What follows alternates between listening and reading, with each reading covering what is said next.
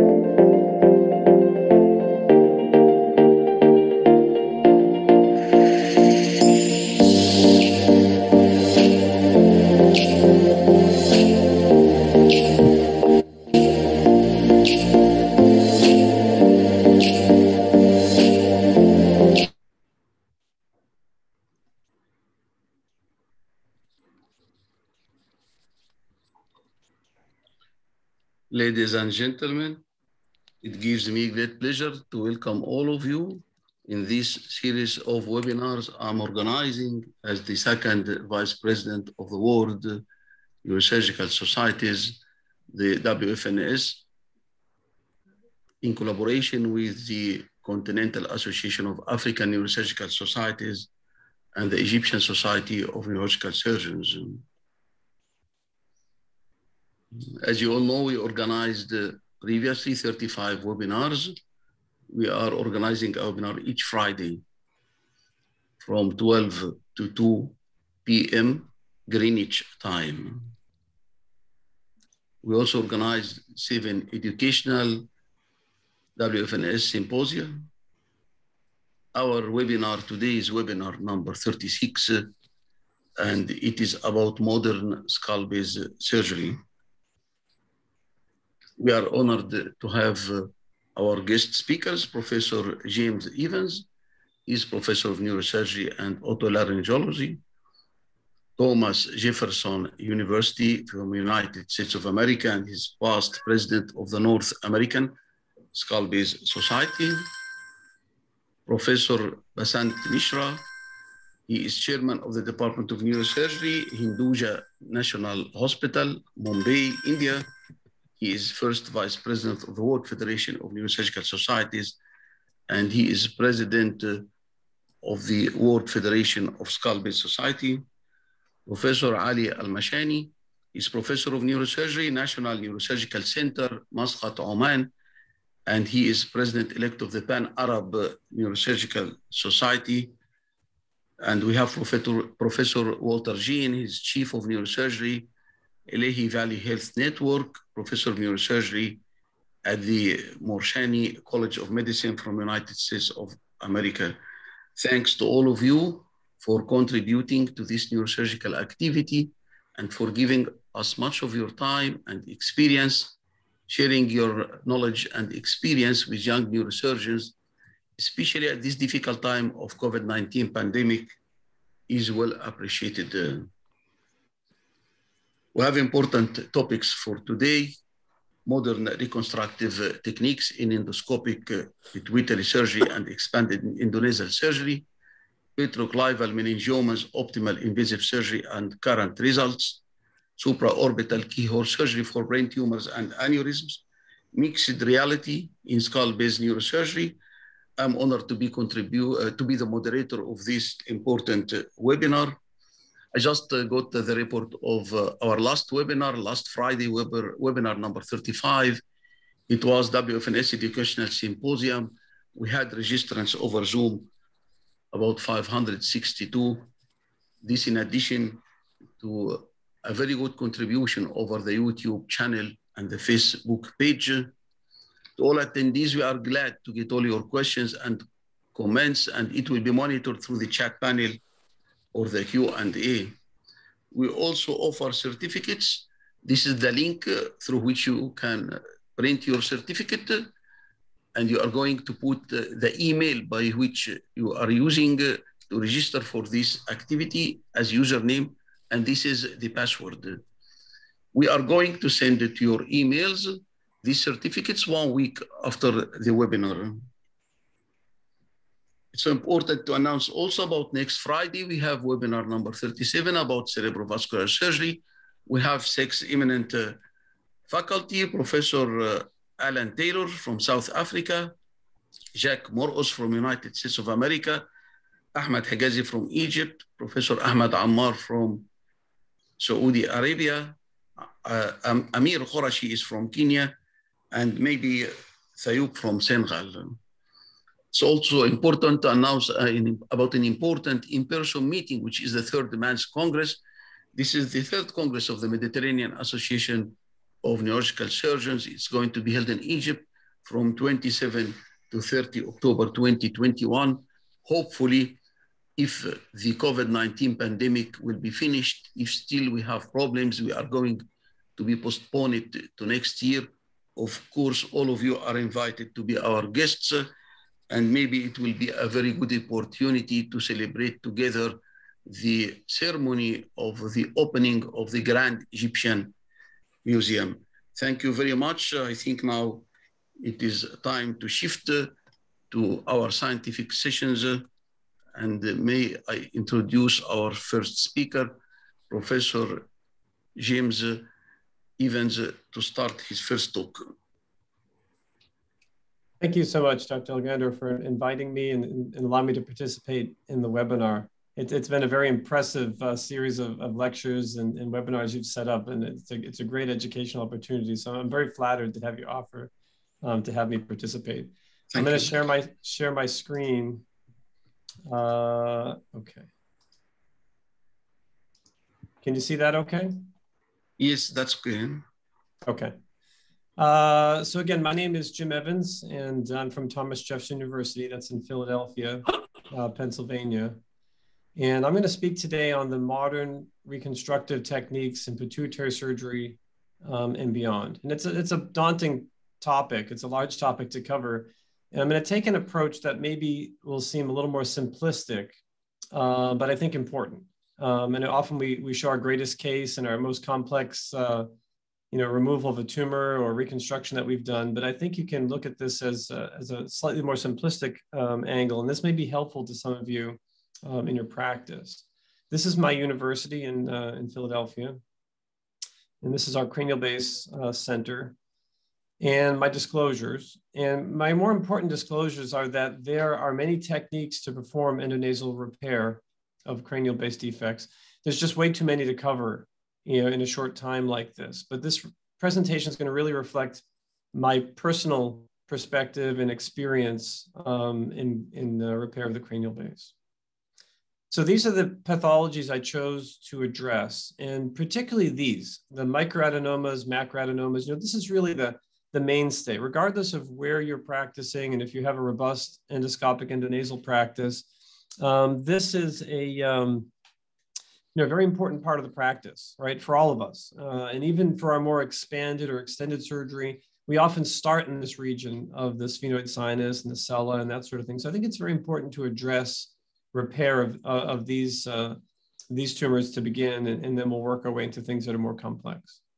So this is just my illustrator's uh, rendition of a pituitary microadenoma. You can see now the dura open and this extracapsular type dissection and en bloc removal of a tumor like that. And this is how it might look in surgery. Uh, so this is again the same kind of thing. We were doing an extracapsular dissection, and mobilizing around this pseudocapsule, and you know separating this tumor in, in more of an en bloc fashion, and then removal like that, so we can achieve remission. So a pretty a pretty standard you know kind of operation. And this is my repair for an operation like that. Uh, basically just a sheet of Surgicel, sometimes two. When this gets bloody like this, it'll tend to stick in place quite well. Um, it's very stable. Um, it tends to create an environment that uh, promotes growth of mucosa. Um, and it doesn't require other autologous grafts like fat or fascia. It doesn't require any packing. Uh, it doesn't require a lot of expensive synthetic grafts and glues uh, or nasal septal flap, which has its own inherent uh, potential morbidity. Um, so very simple, but very effective. Um, so this is how that would look in surgery for that, that similar operation. And this is basically a simple, straightforward repair, a sheet or two of Surgicel, and that's it. And after surgery, uh, this is how that would look, looking up inside. This is just one week post-op. You'll see we're looking inside, nicely well-preserved turbinates, mucosa's healing, a little hyperemic. You'll see our small defect uh, on this uh, left side of this patient. This is a, an NPL scope done in the office. When you look back inside, you'll see that sort of pulsing a little bit still. It's still kind of healing, a little hyperemic, just one week. But here you look at three weeks, the same exact thing. You'll see the mucosa healing a little bit better now. Um, really uh, just rinsing with saline, no other special treatment. But you'll see that this now looks very stable. It's well mucosalized and pretty stable. And so this can be a very effective uh, repair, but also very cost effective. This is a paper we had published uh, a couple of years ago. We looked at several hundred cases like this, and our leak rate for this was 1.1%. So a very simple, inexpensive, uh, easy repair, heals well in a very limited leak rate, uh, which is, uh, I think, quite good. The caveat is you need to be able to recognize an intraoperative CSF leak. This will not hold back a CSF leak. It's not intended to. So you need to be able to recognize whether you have a leak or not when you're doing the procedure. If you do not, this is a very good repair to use, for, especially for microadenomas and some macros. So let's switch and talk about macroadenomas. So we know that some of these are soft. Um, they, have, they can have a poorly developed pseudocapsule. And we need to have a methodical way of using our binaural approach with our endoscope and working through the resection uh, along the floor and, and et cetera, and have a methodical way to get these tumors out and achieve this where we have a decompressed diaphragm and, and, a good removal of the tumor. And that kind of thing would look like this. This is the same kind of opening with the diaphragm coming down. And this is an older picture, but you get the idea. So some of these macroadenomas, as we know, will have a firm or more well-developed pseudocapsule. And this we want to take advantage of, right? Even if we need to do some form of decompression of the tumor, or even if it's only partial uh, pseudocapsule around the tumor, we want to take advantage of it as much as possible and try to achieve a gross total removal, preservation of the pituitary gland, yet decompression of the, the optic chiasm. And here's the diaphragm coming down um, in the cartoon. And this is how that might look uh, with an extracapsular dissection um, of a, a, similar kind of tumors we saw in those pictures. This is after decompression. We're doing an extracapsular dissection, mobilizing this tumor. You'll see we'll work around. There'll be the normal pituitary gland up on the side here, diaphragma sellae above. And as we mobilize this tumor, eventually we can achieve this sort of an en bloc removal. Okay, so that's reasonably standard. Here we have our decompressed diaphragm, our gland over top, etc. Now we need to fix this somehow. So this is the same case, and you'll see this kind of a macroadenoma, pretty standard. Here you can see as we dissected that tumor off the gland and the diaphragm down here, and then our repair. And, and basically for this kind of thing, it's very similar. If there's no cerebrospinal fluid leakage and there's no very patulous diaphragm, what that means is this diaphragm that's very loose and you know, very decompressed, it may herniate out of the dural defect and that sort of thing. If these things are not present, I'll just put a piece of Surgicel or a couple sheets of Surgicel, no glue, no packing, no nothing.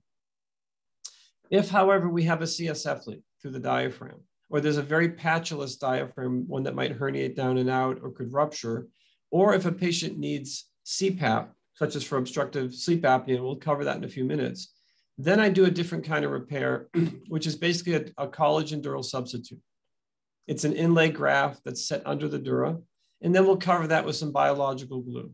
This may be superfluous, Probably some blood on here would be adequate, but we do put some glue on top. In this simple repair to take care of this type of a, a patulous or herniated diaphragm is very effective. It doesn't require packing. This is how it would look in surgery. There's a graft underneath the dura and a small amount of biological glue. As you know, this glue will hydrolyze to water um, after a few weeks. This kind of tumor, big obelisks, large tumor, looks sort of uh, impressive, but can be well removed. Uh, even these portions that are going out in the cavernous sinus, same kind of simple repair, doesn't require big nasal septal flaps and, and all kinds of fat packing, uh, et cetera. And this can be quite effective. And this is how that would look in surgery, the decompressed diaphragm. You'll see coming in here with that synthetic graft being placed in. Again, this one doesn't have a leak. It's nice to seal all the edges, but this is largely as a buttress to keep the diaphragm from herniating. But if there were a leak, it would be the same thing. We just have to have good approximation with the dural edges and then a small amount of biological glue applied on top. No need for packing. If there's a larger defect and I feel it needs a little bit of support, I may put a single piece of Nasopore in here, which will just break down, as you know, to liquid in a week or so. Um, there's no removable packing necessary. And so that's it, simple as that. And now we, um, oh, this is the, the same kind of a case, um, one week uh, post-op. And you'll see, I'm gonna skip up here a little bit. You'll see we look inside, things are pretty well preserved, small opening, et cetera. But you'll see that glue just kind of starting to lose its color at a week or so, but things are nicely stable inside without packing and uh, et cetera. And we studied this as well. Um, we looked at a few hundred cases. We published this in 2020 um, our CSF leak rate utilizing this. And these are cases that had intraoperative leaks, et cetera. But our postoperative CSF leak rate is only 1.2%. And many of these were early in the series. We don't see many leaks at all at this point. Um, so this is a very uh, useful, and I think the next tier in repair. This is the same kind of a case. You'll see a large macroadenoma, good removal, simple repair, no packing inside the sphenoid sinus, simple repair at the dura, and you know large expanded sella uh, with a good removal, but not a very um, aggressive repair. So what about with OSA, obstructive sleep apnea, patients that need uh, CPAP? Um, we studied this as well, and we looked at this in our lab. We created a cadaveric model to study all the, all the different repair techniques and to see how well they can withstand the pressure of CPAP. And it turns out that repair with just that dural graft and some biological glue will withstand 18, 20 or more centimeters of water of CPAP. So it's a very strong repair as well. We actually right now have a prospective clinical trial underway to study this in our patients, both in pituitary and sinus, et cetera. And so stay tuned, but we'll have more information from our clinical trial. So other sellar repair options. Many are familiar with this. Certainly our group at UPMC in Pittsburgh have been leaders in this field for many years. And they came up with this concept of a balloon stabilized graft. This also was an inlay and onlay graft for the dura, also required a, a large fat uh, a buttress or packing along with fibrin glue. And then this balloon stent, importantly, that they utilized to hold their repair in place. And they would keep this in place for at least five to seven days, sometimes longer, to compress this area. We don't use balloon stents at our hospital at all, and I'll tell you some information about that later in the presentation. But this is a technique that they uh, have utilized at their center reasonably effectively, uh, but does require some addition of a, of a stent in the patient for several days. The gasket seal. Certainly our, our, our colleagues at Cornell uh, with Ted Schwartz and Vijay Anand came up with this concept of using some sort of a rigid buttress, in this case, bone or titanium plate or Medpor, uh, in a large graft and sort of countersink or wedge this graft in place to hold uh, uh, their uh, dural graft uh, in place. They cover this with a biological glue, and importantly, they use a lumbar drain in every case. So whether that's a fair assessment of the repair alone or is some combination of spinal drainage, spinal fluid drainage. In addition, I don't know. the report low rates of uh, leakage. Um, I'm not a big fan of putting a rigid buttress up against my optic nerves or carotid arteries, et cetera. Uh, but for them, this seems to work effectively. So summary of our repair algorithm at uh, Jefferson, uh, Surgicel for most of our pituitary adenomas, those that do not have a leak, those that don't have a large patulous diaphragm, and the other things I uh, mentioned. Uh, so this is a mainstay for us. If there's a large uh, decompressed diaphragm, one like this that may herniate, uh, we call patulous diaphragm or a spinal fluid leak. Then we'll go to our inlay dural substitute and biological glue. without the need for packing and other autologous grafts. If there's a large tumor like this with real destruction of the dura, diaphragm is destroyed or open, large dural defects, cisterns open, etc., then we'll go to using our button graft, which I'll show you, my, my beloved button graft that we've used for many years. This is basically a bilayer repair. Um, they're sutured together with furuneurilon. This is depicting a synthetic repair. We do both synthetic and we can use fascia lata when necessary. And it sits like this in the dura. You can make this autologous as well, as I mentioned. It's a very stable graft. It doubles the surface area for healing, which is important. It conforms to defects with multiple planes, like when you're on the uh, planum sphenoidale, tuberculum sella, etc. Um, it can fit very well. It does not require bony edges or a rigid buttress to hold it in place, which I think is important when you use it around these delicate structures, such as the optic nerves, internal carotid artery, etc. This has worked very effectively for us. And for this kind of thing, where we have a very large destructive kind of tumor, cisterns will be wide open. There won't be dura or a diaphragm. They'll be opening into the ventricle with direct pressure onto the area of repair. So so-called high flow leak or invasive tumors. Then we'll utilize uh, that button repair plus a nasal septal flap. Nasal septal flap, just a couple of points. I'm sure you're familiar. It's a pedicle. It's based on the sphenopalatine artery pedicle. We use mucoperiosteum and mucoperichondrium. And this is really a workhorse for, for more expanded surgery. Just two points I'll make to not belabor it is when you're making this flap, you can come out very wide. You can come all the way up the lateral nasal wall. You can sometimes incorporate portions of the inferior turbinate if you need to. Uh, usually just coming under the inferior turbinate a ways is, is useful and it creates a little bit wider flap. As long as you prepare the mucosal um, site where the graft is going to, going to be laid, um, a wider flap sometimes sits better than a very narrow flap. If you take this just below the you know, centimeter below the olfaction and just at the base of the septum, you get a narrow flap. When you put it up, it tends to want to fall away by gravity. A little bit wider flap will sit nicely like a dome, and it doesn't require a lot of packing. The other thing we do is we color it purple with a surgical marker. If you color this mucosal surface purple before you harvest it, then you can uh, utilize that to your advantage for orientation purposes when you're going to set it up at the cranial base. Sometimes the flaps get swollen. Sometimes it's at the end of the day and you may be tired. You may have your fellows or residents or trainees putting up the flap. And this helps for orientation to be sure you don't twist the pedicle. That's not good for the pedicle, and it also will not heal if you put it up backwards, I assure you. And so these few tricks may be helpful to you when you're using your uh, nasal septal flap. And this is just a cartoon of the flap going up in place over the primary door repair. So what about if you perforate your flap or you have a laceration? So maybe you had some technical difficulties while you were harvesting the flap. Maybe there's a large septal spur that goes right to the right through the flap virtually, and you cause some damage.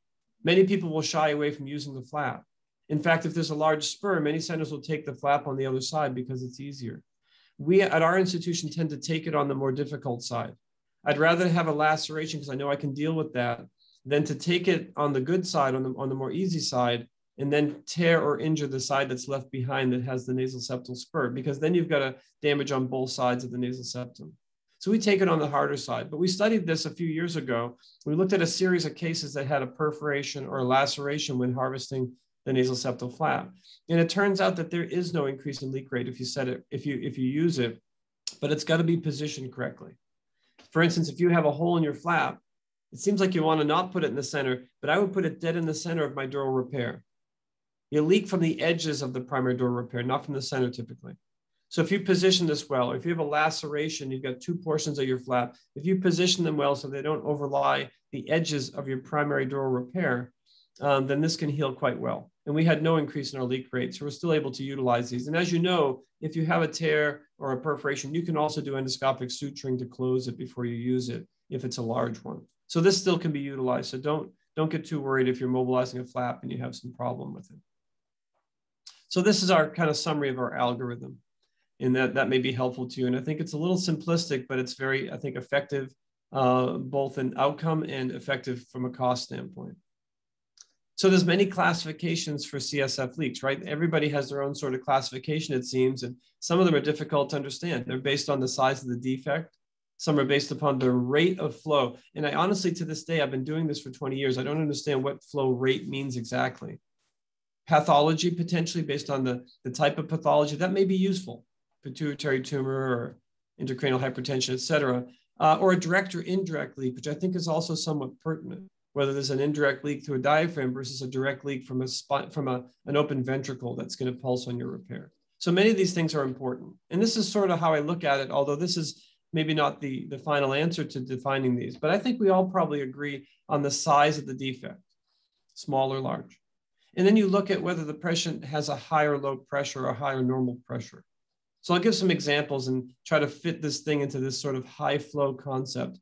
Like this, for instance, someone that has a small defect, normal pressure, like you might have with a pituitary adenoma with a hole in the diaphragm, or, or an iatrogenic leak from a functional endoscopic sinus surgery. These will heal nicely. Almost no matter what you do, they're predictably heal well. Different scenario, small hole, high pressure, like a patient that has a meningoencephalocele, uh, idiopathic intracranial hypertension or pseudotumor cerebri. This is a different animal. We need to pay attention to this high pressure. Is that high flow? Probably that's uh, maybe a high flow situation where you see the CSF streaming up because of high pressure, but hard to define. This one, a large defect with normal pressure. This may be the case with our expanded endonasal approaches. We have a larger opening, maybe like a craniopharyngioma or meningioma, cisterns wide open, ventricle wide open, quote unquote high flow. Is it really high flow? I don't know. It's just a large defect. Um, but we have to take into account and try to, try to categorize these things. So let's switch gears and we'll talk now about expanded uh, endonasal surgery and some of the more uh, invasive surgeries. The early limitations with this kind of surgery was exactly this. It was the cranial base repair. First, we had to figure out, I guess, if could we get the tumors out. But the big thing that limited us was the repair. And there's about as many collagen grafts and, and biological glues as many types of autografts, free autografts, and pedicle vascularized autografts, right? Nasal septal flap and suturing techniques, which we, we uh, tried for many uh, years and still utilize. Um, and there's probably about as many ways to repair the cranial base as there are centers that do this surgery. It's very, very broad. But when I look at this, I see a common theme for so called high flow leaks. And that is number one, a primary stable dural repair of some sort, typically covered by mucosa, some vascularized often, but some, some form of mucosa. And this seems to be a common theme with all these different kinds of repairs. Back to our button graft. Again, this has worked very well for us for many, many years. Um, this is again a bilayer graft. The inlay is made 25 or 30% larger than the defect. The onlay just slightly larger than the defect. The reason is when I look at my onlay graft, I like to see normal dura around it because when I put my vascularized nasal septum up, I'd rather have it vascular tissue against vascular tissue. So nasal septal flap against good dura. And that seems to heal better than if you have bone and all sorts of packing and things in between. Those two tissues heal very quickly together. Um, and this is just an example, large craniopharyngioma after removal. You guys have all seen that. This is our fascia lata harvest, kind of how that works. And we've got an endoscopic way to do this too, but a little incision, inch or so, inch and a half incision. And um, this is the, the graft you'll see being sutured on the back table. Uh, we do this outside of the nose, but we put our sutures in here and we spread the sutures apart so they about approximate the size of the defect. That'll keep it most stable and then it'll get put in position. I'll jump, just jump ahead for interest here. There it is. It's sped up a little bit. We color purple for orientation purposes, but here it is being tucked in. The inlay gets put in uh, first and settled, and you can move this graft on the onlay back and forth until the inlay is well settled and unfolded. So you get good approximation with the bilayer repair. When it's settled, you'll see, except for the purple, it'll look and even pulse like dura when it's seated in there. We just get it straightened out and kind of lay it out. And it's as simple as that. And we use these as standalone grafts for many years before we, we used the nasal septal flap back in 2006 and seven. These, these standalone button grafts will heal. And this is just the, root, the nasal septal flap going on top. And we'll put a little biological glue, which is probably the most superfluous part. This blood probably does as good as the glue. And if you need to stabilize the center, maybe a single piece of nasopore. Pretty simple. And uh, this is just the uh, example of a synthetic button going being put together. And I'll show you just briefly here um, this kind of concept of, of a synthetic button like this being tucked in place. This is old video, and we used to use these even standalone. And you'll see here, once it's once it's tucked in place, it pulses pretty nicely like Dura. You don't see a lot of leak around it. And this is sort of the, the beginning of this, uh, this uh, graft when we used it. And then this one was covered with the nasal septal flap.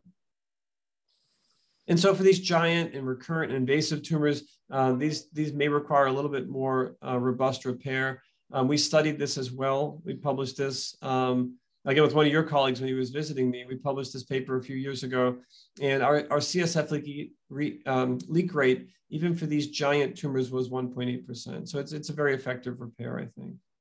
Tuberculum sellae meningiomas, same thing. You see the, the nasal septal flap and our button graft above without a lot of packing.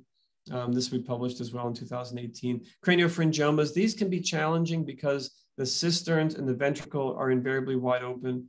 Um, this is a lot of pulsation. You're asking a lot of this graft to hold back, but here's a button graft, here's the nasal septal flap, and here's a small piece of nasopore with a, a large uh, craniopharyngioma removal. And these heal very, very well. We studied this our early series years ago when we first published this was 4%. That was pretty acceptable. Now it's less than 2% because we're not picking up a lot of leaks. And the more cases we get, this gets diluted over time. And so we're actually doing quite well with the craniopharyngiomas.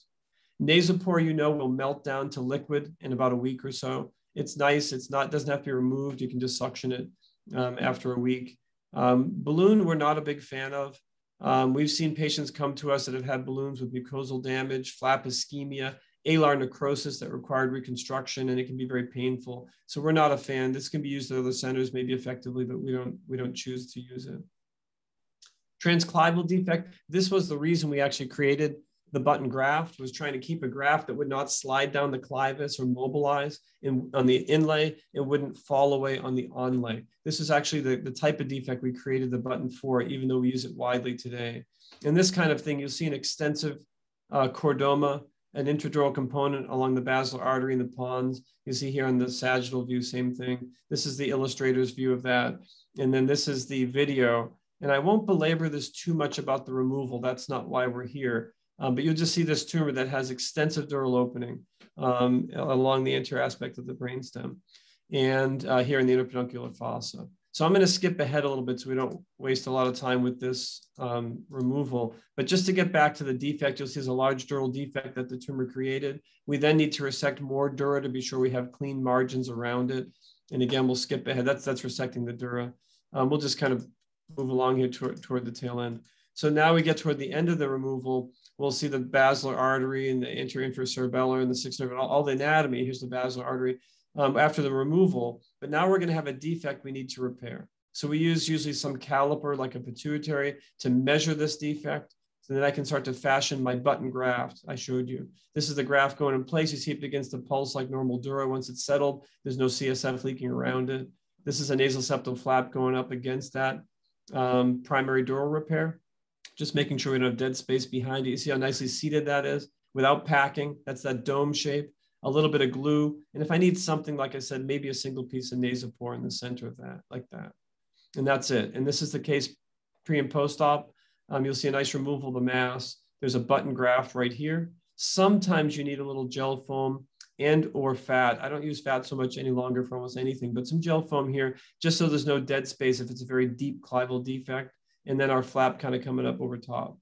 And uh, the closure of these, basically, this is a cartoon here, or uh, illustration, or just, just showing on, a, on an image how we have a bilayer repair in the dura. Um, this is our button graft I spoke about. Sometimes you need Gelfoam or fat in a dead space. It's a very deep defect, depending on the, the length of your uh, nasal septal flap, if it's a child or an adult. And then you'll see this nasal septal flap will go in position about like that. And this repair has been very effective for us. And again, this is the reason we developed the button graft in the first place. Um, lumbar drains. So this is another controversy, I would say.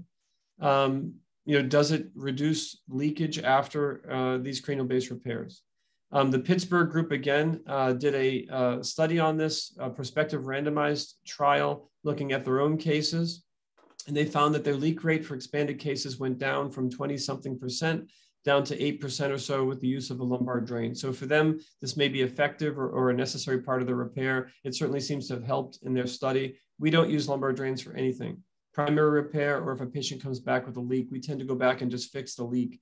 I think when it's repaired well, um, this is not necessary. As we know, lumbar drains can have their own inherent morbidity as well. Um, so we don't rely on them. Other repair options, just briefly, and then I'll finish up. Temporoparietal fascia is an important workhorse. Pericranium, and vascularized free flaps. So T TPF or temporoparietal flap is, is a very familiar flap to most of your head and neck surgeons. Um, it's used for many extracranial reconstructions, such as microtia repair for the ear, static facial slings, often temporal bone defects. This is a very useful flap. It's contiguous with the SMAS and the, the galea, and it's pedicled off of these uh, superficial temporal arteries you can see here. This is the superficial temporal artery going into it. Uh, often, you know, it's going to require an external incision, et cetera. Uh, but this is a very versatile flap. It's got many advantages. It's constant. It's a very constant anatomy. It's got a great arc of rotation as far as flaps are concerned. You can reach vast areas with this flap. It's got a super long pedicle, which is useful. It's a highly vascularized tissue. It's very resistant to infection. It's easy and pliable to, to, to, uh, to conform to, to different uh, shapes. And the really important thing about this is it can provide um, multi-layer coverage and you can actually fold this up. You can wrap it around an artery or around a structure. You can fold it to make it thicker. You can pack it in areas. It doesn't have to, unlike a nasal septal flap, it doesn't have a surface that's got to be exposed or, or that sort of thing. So it's very useful and it can be, um, you know, uh, uh, a very effective repair. It's got some disadvantages. I mean, you, you need an external incision. So you have a coronal incision, you get a visible scar in some patients. Um, potential for alopecia, you're taking tissue that's right under the galea. They can lose hair. You've got to watch your frontal branch for the frontalis palsy, et cetera. Uh, but it is a very useful flap.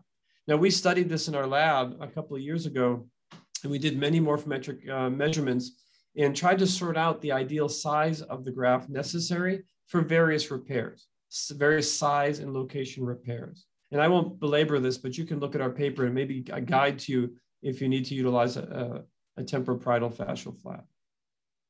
Um, so we'll talk a little bit about the pericranial uh, flap. So this is um, a useful flap uh, that we haven't had to utilize too often, but this was published by Zanation and the group from Pittsburgh, and they were trying to perform an endoscopic harvest of this flap. Now we've all worked with that and it's not so useful. It's a very difficult thing to do because of the curvature of the skull, et cetera.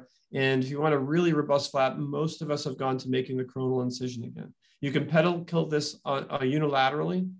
They all require a uh, some drilling at the glabella to pass it into the nasal cavity. You'll see here before, before passing it through. But this can be effective. It's a pretty vascularized tissue, as you know. Most surgeons are familiar with it, and uh, neurosurgeons and um, it can be useful for the anterior cranial base defects as a backup plan. You can get a pretty good length out of it uh, as well in a reasonable width. So this is another one. And then this kind of thing, um, this is a, a free flap repair. I'll just talk briefly about these. This is a patient that had nasopharyngeal carcinoma uh, with osteoradionecrosis.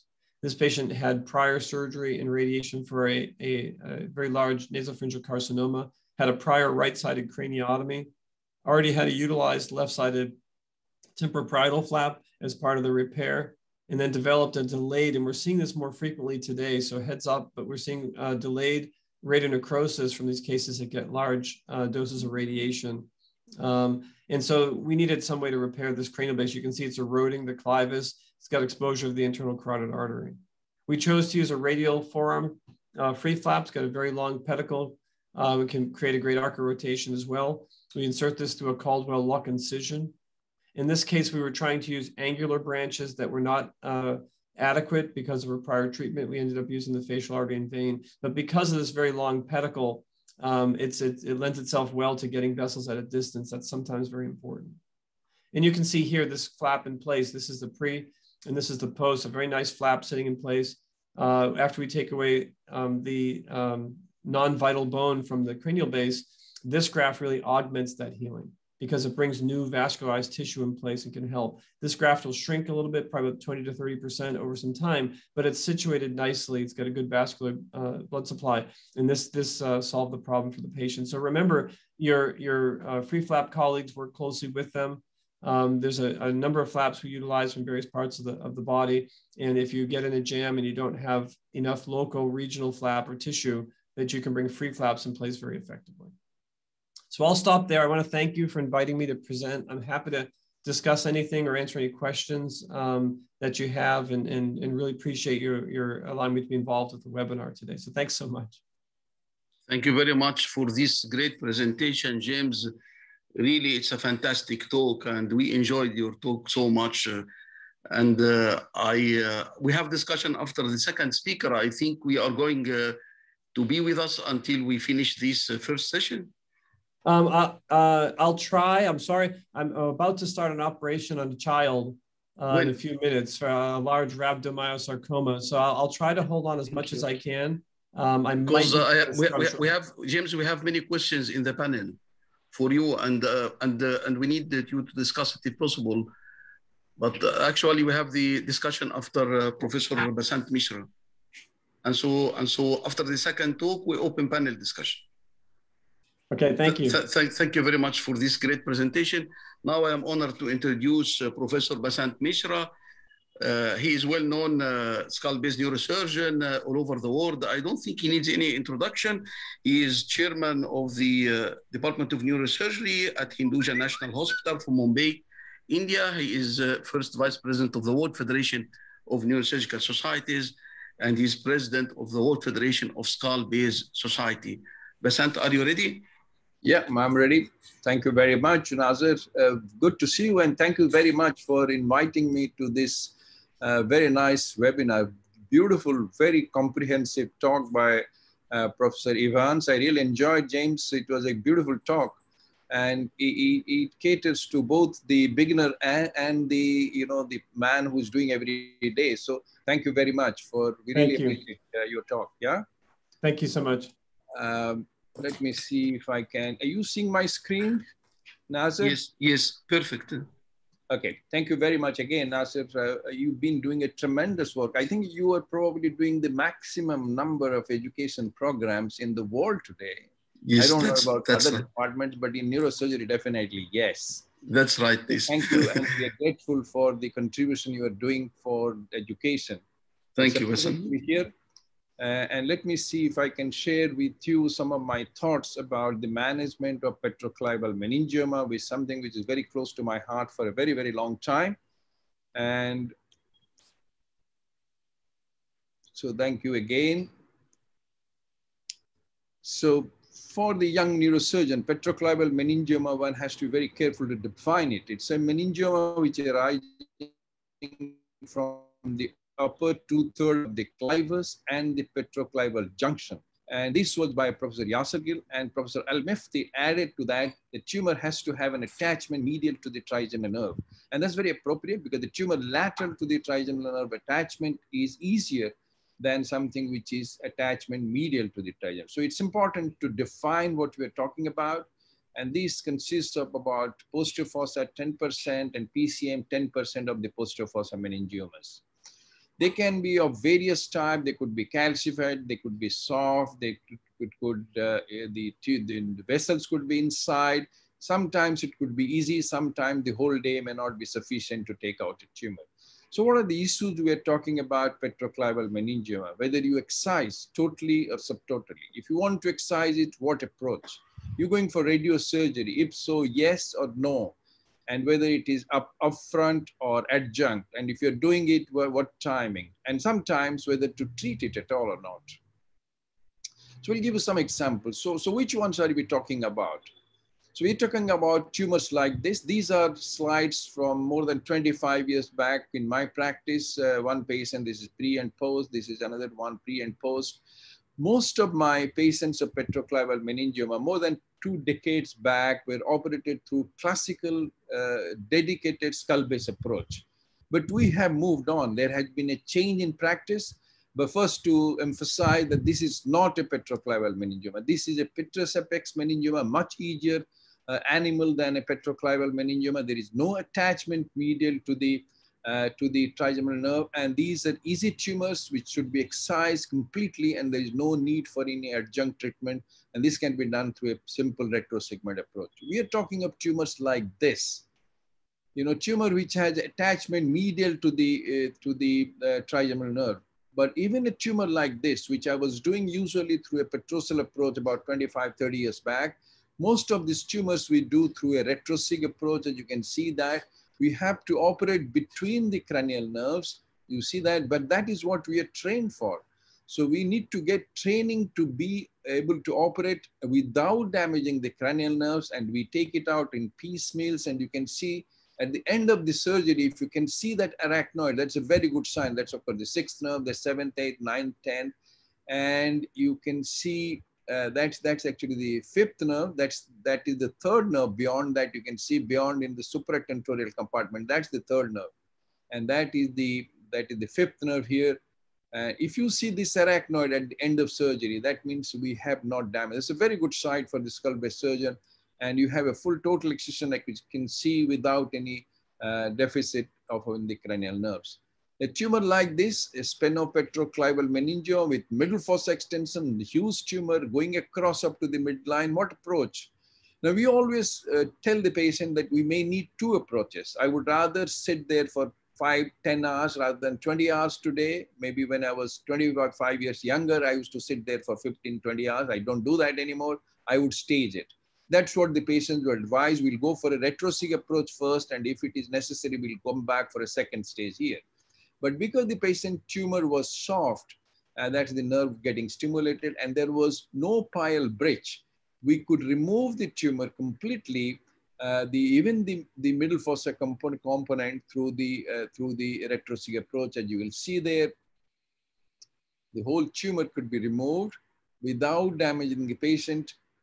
and that is the tumor in the supratentorial compartment. There is no attachment, so we could remove without uh, damage in the patient. And that's the patient before discharge. You can see the retrosig craniotomy, uh, simple retrosig craniotomy and total excision of the tumor.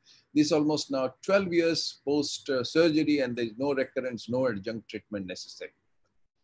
But tumor like this, a little more central and more fibrous and solid tumor, uh, we do still a, a retrosig approach, but we need to do some extra maneuver like what is called suprameatal drilling, which was popularized by Professor Samii. A tumor like this, still you can remove the middle fossa component through a retrosig approach and by drilling the petrous apex uh, uh, in the suprameatal area that you can see the pre and post-op MRI without any damage to the brainstem.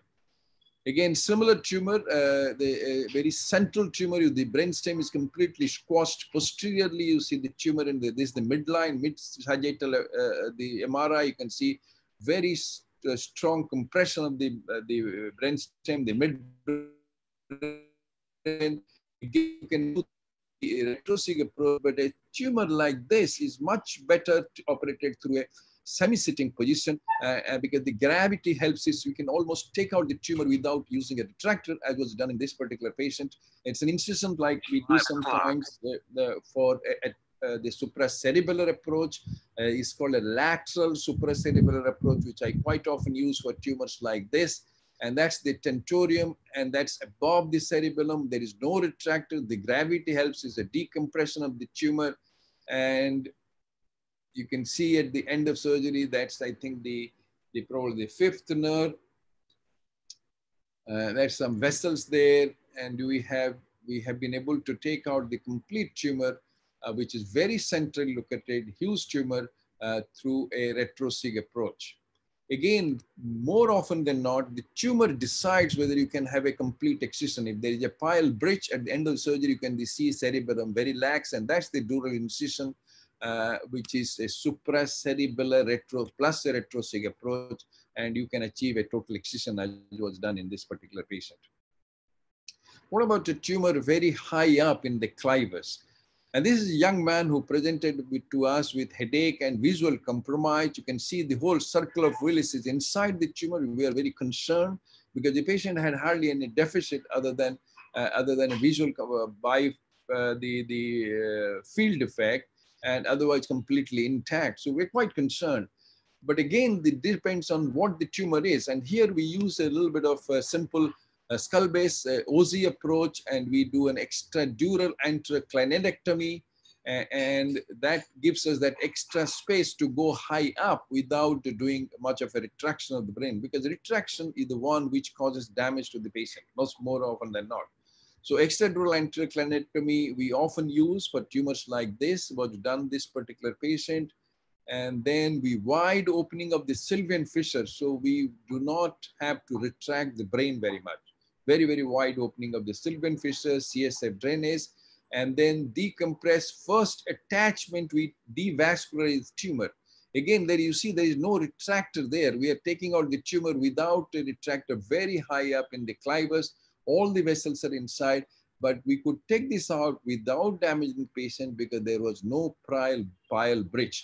The adventitia of the vessels were free, so we could dissect that out. And of course, this takes time, but we can do that without damaging the patient. And that's at the end of the surgery, you can see the basilar artery and that arachnoid there, the basilar bifurcation. And this is such a beautiful sight at the end of surgery that we have not damaged the patient. And that's the post-op. Again, this is many, many years now. This was operated in 2013. So now it is eight years now post-op without any uh, recurrence or adjunct treatment. Now, what about always trying to remove the tumor completely? We don't need to do that. Neither we can able to do it. And now this is a lady actually from my uh, uh, neighboring country, Pakistan, who had this tumor, who one neurosurgeon had gone in there, but there was some uh, there was this was post-op actually. This is one operation has been done outside, but they, they had to back out because of bleeding. And this was taken out in two stages. And then we give the gamma knife for uh, for the residual tumor in the cavernous sinus because the patient is very difficult nowadays to come back from Pakistan for treatment. Uh, you could probably observe if it is available, but otherwise this is how it was done. Uh, this is actually a patient from Oman. This is a lady whom we, I think we operated in 2001. Sphenopetroclival meningioma, the whole uh, component of the tumor was removed. Again, the patient was from a foreign country. It's not easy to follow up. Uh, and she opted for uh, upfront gamma knife for the tumor in the cavernous sinus. It is absolutely appropriate to follow it up and go, go for radiosurgery if there there is a growth, and that's absolutely fine provided the follow-up is not suspect. And of course, you need to discuss with the patient, and this is what the patient uh, patient uh, wanted. So we did it, and um, I see uh, Professor Al uh, Swani. He's there from Oman, and one of their meetings I had gone there after 10 years, and where I saw this patient, she came to the meeting, and she was still intact, and the tumor has remained uh, well controlled. Now, this is a young lady uh, of Indian origin who is in UK, and this is a huge tumor uh, which she had. We, we operated through a retrosig approach again, uh, and there was this tumor which had a bile bridge. And every time I was taking it, trying to remove, there was the, the seventh nerve was beeping. And so we had to leave some tumor. Again, we have not done any adjunct treatment. We are following it up because the, the follow-up is not, not suspect. Her husband is a doctor. So I know I'm not going to lose this patient for a big, big recurrence. Uh, before that, we could pick it up. And if there is a growth, we will go for some adjunct gamma knife radiosurgery. Now, tumor like this, this is a gentleman in his late 50s who presented to us in 2000 with this tumor going into the middle fossa, the basilar inside the tumor. But this is the critical image, the T2, this irregular outline, brainstem edema. That should have told us not to attempt total excision, which we did, and that was a mistake. And we tried to remove the tumor even after two-stage surgery, translab and OC, we did not remove the tumor. There was a subtotal excision, but there was a brainstem damage. You can see here, and the patient was significantly uh, compromised for a, for a, it took about one and a half years uh, for him to be independent. Fortunately, the, he is active now and he's working, but he remains with a minimal hemiparesis on one side. So today, a tumor like this, we would electively go for subtotal excision. I would not attempt a total excision. If I see this irregular outline on a T2 image and all tell my all my resident be very, very cautious about taking out this tumor. A tumor like this, this is 70 plus lady with atypical facial pain, en plaque tumor, not a big volume, uh, but no other thing other than atypical facial pain. So I knew that if I tried to remove this tumor, I would probably produce some compromise, at least of the cranial nerves, and again, there is the dura bone, everything is involved. I will probably not achieve a grade, uh, uh, the, the uh, grade one or grade two excision. So we opted for uh, primary gamma knife. And fortunately for us, the patient was pain-free, but the pain-free rate is not very great. It's about 50 to 60% for atypical facial pain for primary gamma knife. So we are not a good, big fan of primary gamma knife, but we do sometimes do that. Now, this is a, a gentleman in his 60s who presented uh, with this tumor uh, in 1996 to me. Now, you can see he has a right sixth nerve paresis, and that's about it, nothing else. And so we advised surgery. He ran away, not uncommon in my country, to come back after 10 years with a swelling in the forehead. And the tumor had grown, but patient's deficit was nothing more than right sixth nerve. He had no other complaints he had no diplopia because that has become a lazy eye. And the only thing he had, he had a swelling. And it was 10 years, 1997, uh, uh, uh, to 96 he presented first. And then 2006 he came back uh, with this, uh, with this uh, swelling. So we didn't know what was it. We put in a needle. This was a tubercular abscess. so we, this was treated by anti-tubercular treatment. He went back home and he died after one year of that. So 11 years after the diagnosis, when I advised treatment, which he did not do, he was right, I was wrong. He died of a myocardial infarction, not because of this tumor. So one has to be very careful to advise treatment because some of these tumors may be very, very indolent, very, very slow growing. The natural history, one has to be very careful. This is another young lady, much younger lady in her uh, early 30s who was a physical instruction teacher, and she had intermittent uh, hoarseness of the voice at the end of the day. And he was evaluated extensively by the ENT till some neurologist asked for MRI, which picked up this extensive tumor from infratemporal fossa right up to the petrous apex, extensively, heavily calcified, solid, form uh, T2 dark tumor. And he came to me uh, I said, if I do something, I'm going to damage you. I can't take out the whole tumor. I'm going to cause you more damage than what you have now. So we would follow up. So now it is about seven year follow up. The tumor remains stable. The patient has ninth, 10th paresis, but is not compromised. He can swallow. Uh, her voice is worse, and that's about it. We are following it up. So he'll probably have problem because he's much younger, but uh, we did not produce a problem. If I had gone in that time, I would have probably produced problem and patient would have had residual tumor anyway. So these were my trends of surgical approach, and this was, uh, we put it in Professor Al-Mefty's book, as you see, before 97, majority of our patients had a dedicated skull-base approach, whereas after that, we had uh, gamma knife available, and majority of patients were being operated through a simple retrosig approach, and this was in Professor Al-Mefty's book of controversies of neurosurgery, the chapter was said by me, and Dr. Al-Mefty. Now, this is, we have published very recently in February 26, uh, this is February 26, 2021, our results in the 21st century, and this is 72 cases of consecutive cases of petroclival meningioma, which were uh, operated by us. Uh, this is the, the R series, you can see that, and we have a cranial nerve deficit now about 20%. We haven't lost any patients uh, in the new millennium and we have achieved a gross total resection of about 42%. I had a series which I published in 2006. We had a we had a, a much higher uh, you know kind of excision rate, which is much lower now. But our uh, the cranial nerve uh, uh control rate and the functional uh, the functional outcome has been much better and that's the that is what we have accepted. So we don't want a we want a good patient rather than a good mri today as many other skull base surgeons have learned over a period of time. So this is our uh, protocol for microsurgery approach depending on the location of the tumor.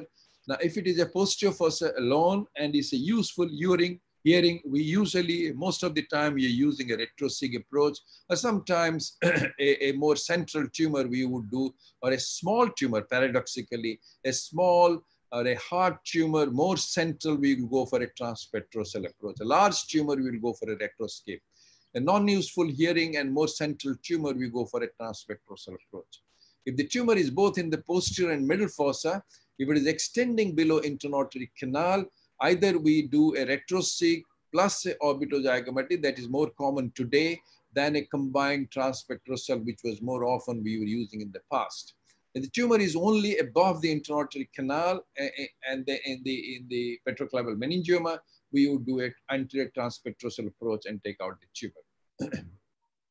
so uh, in the new millennium, this is the way we have operated in the 72 cases. As you can see, majority have been operated through a retrosig approach, though we have used other, uh, other uh, uh dedicated skull-base approaches in many of these cases.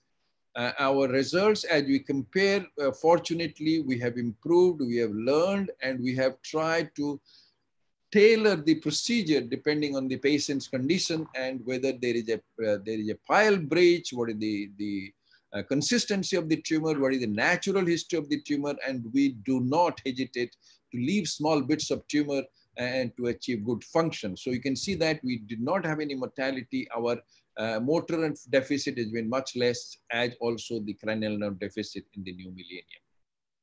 Uh, so current protocol, if you have brainstem symptoms in a patient in India, as in many countries in our region, the patient presents very late, they have very large tumors. So they have many more often than not, they have brainstem symptoms. And if that is so, then we go for surgery. If there is a cavernous sinus involvement, uh, then we go for a subtotal excision and either we follow, up if the follow-up is not suspect, and on growth, we do gamma knife radiosurgery. If this follow-up is suspect, then we do upfront radiosurgery for these symptomatic large tumors. Because if the patients have a symptomatic large tumor or a giant tumor, they are more often likely to have recurrence than a small tumor uh, when we to start off with. Now, there is no cavernous sinus involvement and there is a good subarachnoid plane. There is no plane, pial breach. We would attempt a good uh, gross total excision. And if the pial breach is uh, there, then we go for subtotal excision plus radiosurgery if it is a giant to a tumor or a symptomatic tumor to start with. Otherwise, we follow up and observe and give gamma knife for growth. As far as the age is concerned and the patient has no brainstem symptoms, if the patient is elderly, uh, then we would give a period of observation to see if the tumor is growing before we advise and treatment. In a younger patient, we would advise surgery if it is a large tumor, and similarly in the cavernous sinus involvement, uh, it goes in the same paradigm as before. What about uh, gamma knife? It is always elective, it is stays. Uh, if it is difficult to follow up, we give um, uh, up upfront gamma knife, or there is a very short history, patient temporal course of the disease is short, patient is has a giant tumor, we would of course go for uh, upfront gamma knife, otherwise on recurrence. So this could be various types. The, the petroclival meningioma sometimes looks very ugly. You can take it out, looks not so bad, but you cannot take out. So we have to tailor the approach depending on what the tumor is at the time of surgery. To summarize, some but not all should be totally excised. Retrosigmoid approach is appropriate in majority of the petroclival meningiomas in our practice. However, dedicated skull-base approach is essential and the young neurosurgeon must be familiar with all these approaches and the tumor should dictate approach rather than your limitation. Today, we would, as I said, stage surgery rather which I was more often doing single stage surgery maybe 20, 30 years back. I don't do that anymore because we are all human beings. We do get tired and the last part of the tumor is the most difficult part where at the end of the day, I would rather come back with a second stage. Radiosurgery, we feel, is an useful adjunct, which could be either upfront, depending on the availability, the follow-up. The patient is uh, can be available for follow-up, then you can follow up. If the patient has a large symptomatic tumor to start off with, and the temporal course of this history is short, I would go for upfront gamma knife. Uh, so our philosophy is radical but safe excision. The final slide for the young neurosurgeon, remember your complications. Remember your mistakes, as I showed you some of mine. And that's the only way we do not repeat it. And if you cannot do like what everybody wants to, you to do, don't follow blindly. Thank you very much.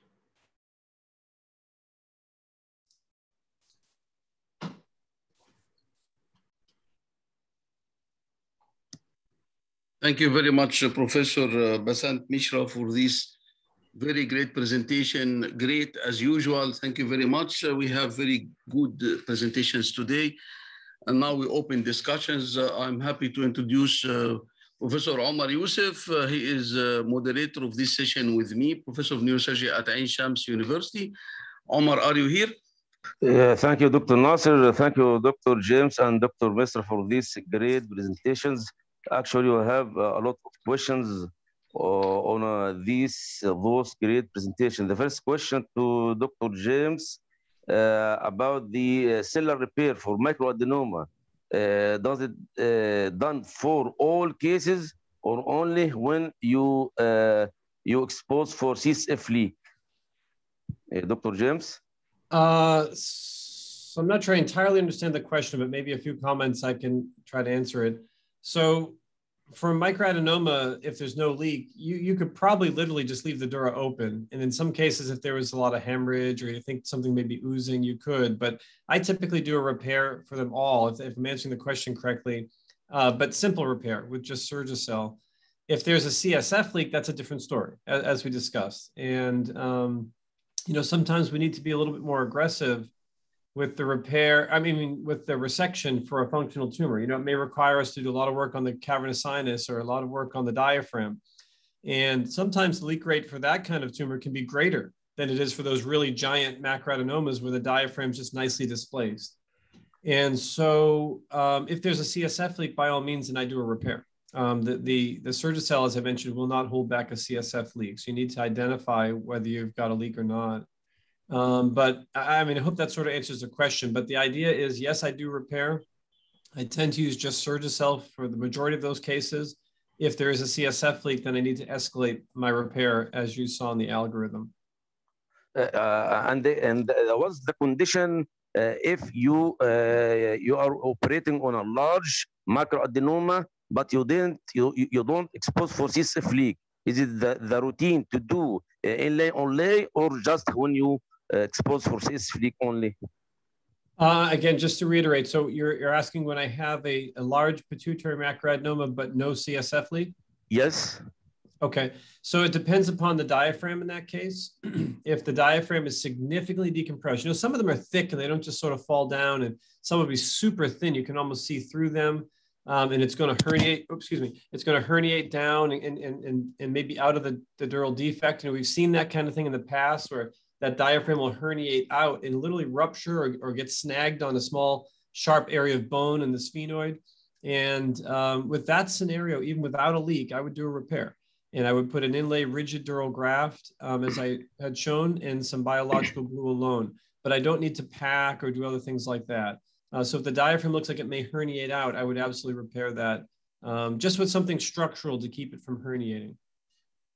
Uh, another question for you, Dr. James. Uh, do you use the Valsalva after tumor excision to see the CSF leak? And do you use the lumbar drains also or not? That's a great question.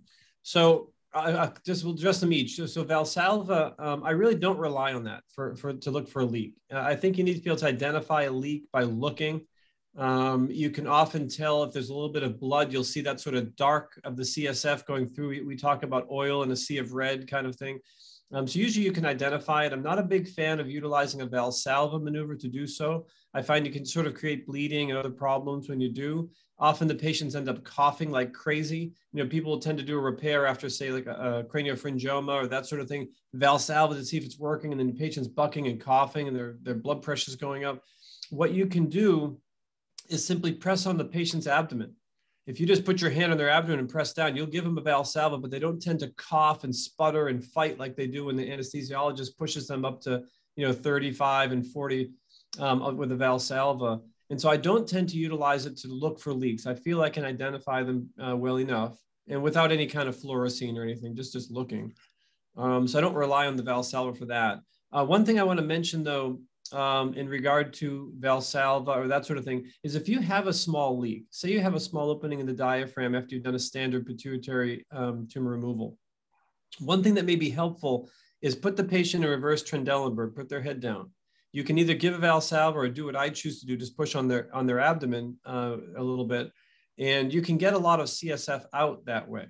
So if you're going to need to repair the leak, take out five or 10 cc's of CSF simply by putting their head down, or like I said, pushing on the belly or, or a mild Valsalva if you choose, and you'll get some CSF out. Once you put that patient back into reverse Trendelenburg, you'll see the diaphragm will go right up. You're no longer fighting against the against the flow of, of uh, CSF um, coming at you. And it's less of a battle. So you can actually dry things up and then get a sense of what's going on. Sometimes you can even do a direct repair of the diaphragm. I did that yesterday uh, in, in, a, in a case. Um, so you can just directly repair that even if you need. Um, so just use that maybe to your advantage, um, the, the, the Valsalva in a different way or putting the head down and getting spinal fluid out. That can be very advantageous sometimes and make it simpler and clarify where the leak is coming from and that sort of thing. As far as lumbar drain, no, I don't use a lumbar drain virtually for anything except a patient that presents with a significantly elevated ICP. If we know there's an idiopathic intracranial hypertension patient, you know, pseudotumor cerebri, pressure is super high, we're going into fixing encephalocele or whatever it is. Um, if we tap them and their pressures, you know, uh, lumbar puncture and their pressure is 50 or, or, or 60 or 70, you know, centimeters of water, and then in that case, I'll put a lumbar drain mainly to maintain the pressure while we do our repair and to temporize them until we, we need to put uh, cerebrospinal fluid diversion like a VP shunt or whatever you choose. And that's pretty much the only circumstance. I don't use them for the, for the primary repair. And if a patient comes back with a leak, we tend to still not put a lumbar drain. I'll go figure out what the problem is. And I'll, and I'll directly repair the, uh, the, the cranial base defect rather than have them sit with a drain. And what we found over the years was we would put a, a lumbar drain in place, try to divert the fluid, get them to heal. And what I found more often was it just had them stay in the hospital for three or four days, eventually clamp it, and often they would be leaking anyway. And so it just seemed like it wasted a lot of time in, in the hospital stay and immobility. We found that just going back, identifying the problem and fixing the, the, uh, the, the leak directly was more effective.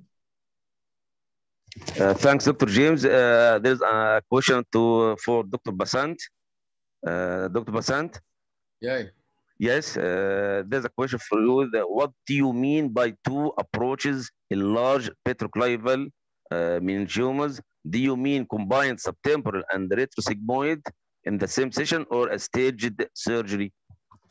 Uh, uh, today I do mostly staged. If I have to do, there is a large middle fossa component and there is a large posterior fossa component. I usually would stage it today but everything depends on the mostly the consistency of the tumor. A firm tumor is much more difficult than a vascular tumor. I'm not so worried about a vascular tumor, but with a firm tumor, it takes much longer and especially depends on where the vessels are. If the vessels are inside the tumor, uh, the meticulous dissection is the way to go. So I would do in two stages. Uh, as I said, if there is a middle fossa and, uh, and a big posterior fossa component, today I do a posterior fossa component uh, by retrosig.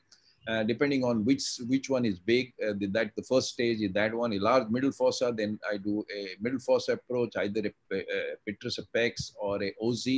If the large uh, posterior fossa component, small middle fossa, then I do a retrosig first and then go back. Uh, 20, 25 years back, most of this I would try to do in a single stage, either a, by a petrosectomy, posterior petrosectomy, or combined anterior and posterior. I don't do that anymore. Uh, as you know, Dr. Misra, the your presentation is one uh, of the most changeable uh, pathologies in uh, skull-base surgery in the neurosurgery. Uh, we we would like to to to guide us and to to guide the attendee about the golden tips and the golden tricks for those uh, most challengeable pathologies ever. What do you think? Well, I think the the the first, I think the most important thing is uh, the if the young neurosurgeon wants to do a petroclival meningioma, he needs to spend days, weeks, months in the lab before he should do it because these are not common tumors. I mean, you don't need to do a petroclival meningioma. You can get away not doing petroclival meningioma throughout your career and you're not going to lose very much.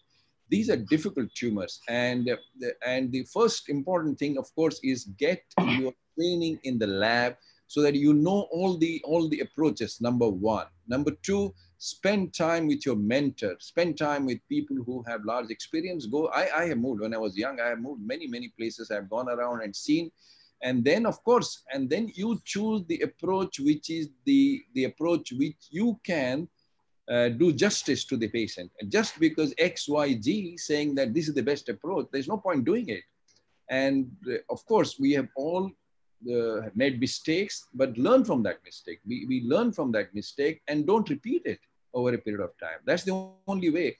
Uh, for the young neurosurgeons very great question. I thank you very much for asking me. The best thing you can do to not to damage the patient is to remember all your complications. Mind you, I, I honestly, uh, I'm telling you, every single patient, not only petroclival, every single patient I have managed, or the patient uh, who has had complication or who has died, and they have many. Uh, I mean, if somebody comes back and tells you that there is no complication, either he's telling truth, untruth, or he is God. He's not neurosurgeon. So I have a lot of complications. I remember, I remember every single patient's face, not only their face, their family, their pain, and you feel the pain. That's the only way you don't repeat it. And that's why you change over a period of time. As I said, 25 years back, everybody, every single patient was mine was a dedicated skull-base approach. That was the way to go. That was the golden rule. I don't do it anymore. We have many, many sessions. We have had arguments with uh, legends, names, which are my heroes also, like Professor Al-Mefty. He's one of one of great greatest skull-base surgeon whom I look up to. But I don't do everything like he does because I can't do it. So why, why do I have to follow him? For a particular thing. As I said, he's one of the greatest skull-base surgeons whom I admire, whom I have learned, I've visited him, I've seen him operating. Similarly, but I, I, do the way I can do the best thing. And at the end of the day, you have to have a good patient rather than a good MR. And that you learn with your mistakes, unfortunately. It's a very quite, quite uh, golden tricks and tips from one of the eminent uh, neurosurgeon skull base in the world ever. Uh, there is a question to, to, Dr. James. Dr. James, are you here? I'm here. Uh, yes, uh, there's a question about the use and the useful of the fat graft. Do you still use it or you depend on another types of inlay and onlay? Uh, we really don't. Um, I don't use fat for almost anything any longer. Uh, the one place it remained to some capacity years ago was again for the clival defect. There's a really deep clival defect, my nasal septal flap or my covering won't quite fit all the way back and we don't want to leave a dead space, then I would put a little bit of fat there. But I really just use Gelfoam now and I think it's fine. Uh, we've been able to tailor our flaps better. We can often get Dura to flap without any dead space in between. Uh, but that's one place, uh, I guess you could argue. But even with that, like I said, it's typically just some Gelfoam. I don't, I don't use fat for almost anything um, that I do endonasal uh, any longer. Uh, there's been problems, you know, reported with it, in, intradural use and infections and packing and causing compression. And I just don't, I don't believe in that. I'd rather get things back to their normal configuration and not all packed and, and having problems. So no, I, I, really don't utilize fat. We use sometimes fascia lata, uh, depending on the uh, the tissue and the repair we're doing and what's available, uh, but not fat packing. Uh, I think Omar. Um, there is uh, we, one uh, raise his hand. I, yes. One, one attendee. You, you, are in the panel now. Please speak. The, the, our colleague who raised the, the hand, please speak directly. I'm Dr. Ali Al-Mashni. I want to ask Professor James regarding the patient with increased intracranial pressure and uh, with uh, there is uh, endonasal transsphenoid and uh, there is a leak and you repair it and you, so there is a leak. We did the lumbar drain and we back it. And uh, after that, after five days, everything is stopped. We remove the lumbar drain. Then later on, there is a recurrent of the CSF leak. You know, before surgery, there is uh, the, the pituitary itself, it is tended to the the cavernous uh, to the, the sphenoid sinus, and there is a mucocele also with it. So that is indicating pre-op there was an uh, increase in intracranial pressure, although this is uh, discussed with the patient. But is after that, what the approach we can do? Shall we do a lumboperitoneal shunt? Or we repair again and we think that it will be good because there is a sign of increased intracranial pressure.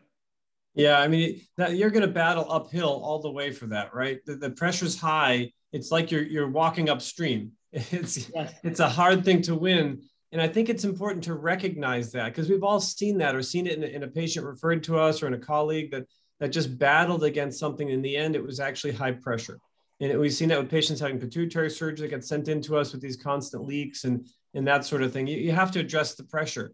And I think it's really important to try to recognize that preoperatively, right? It's, it's a little more evident when you have a meningoencephalocele or, or some situation like that, a patient that presents with symptoms of pseudotumor cerebri, but some don't. Some patients walk and talk and function fine with pressures that are pretty elevated.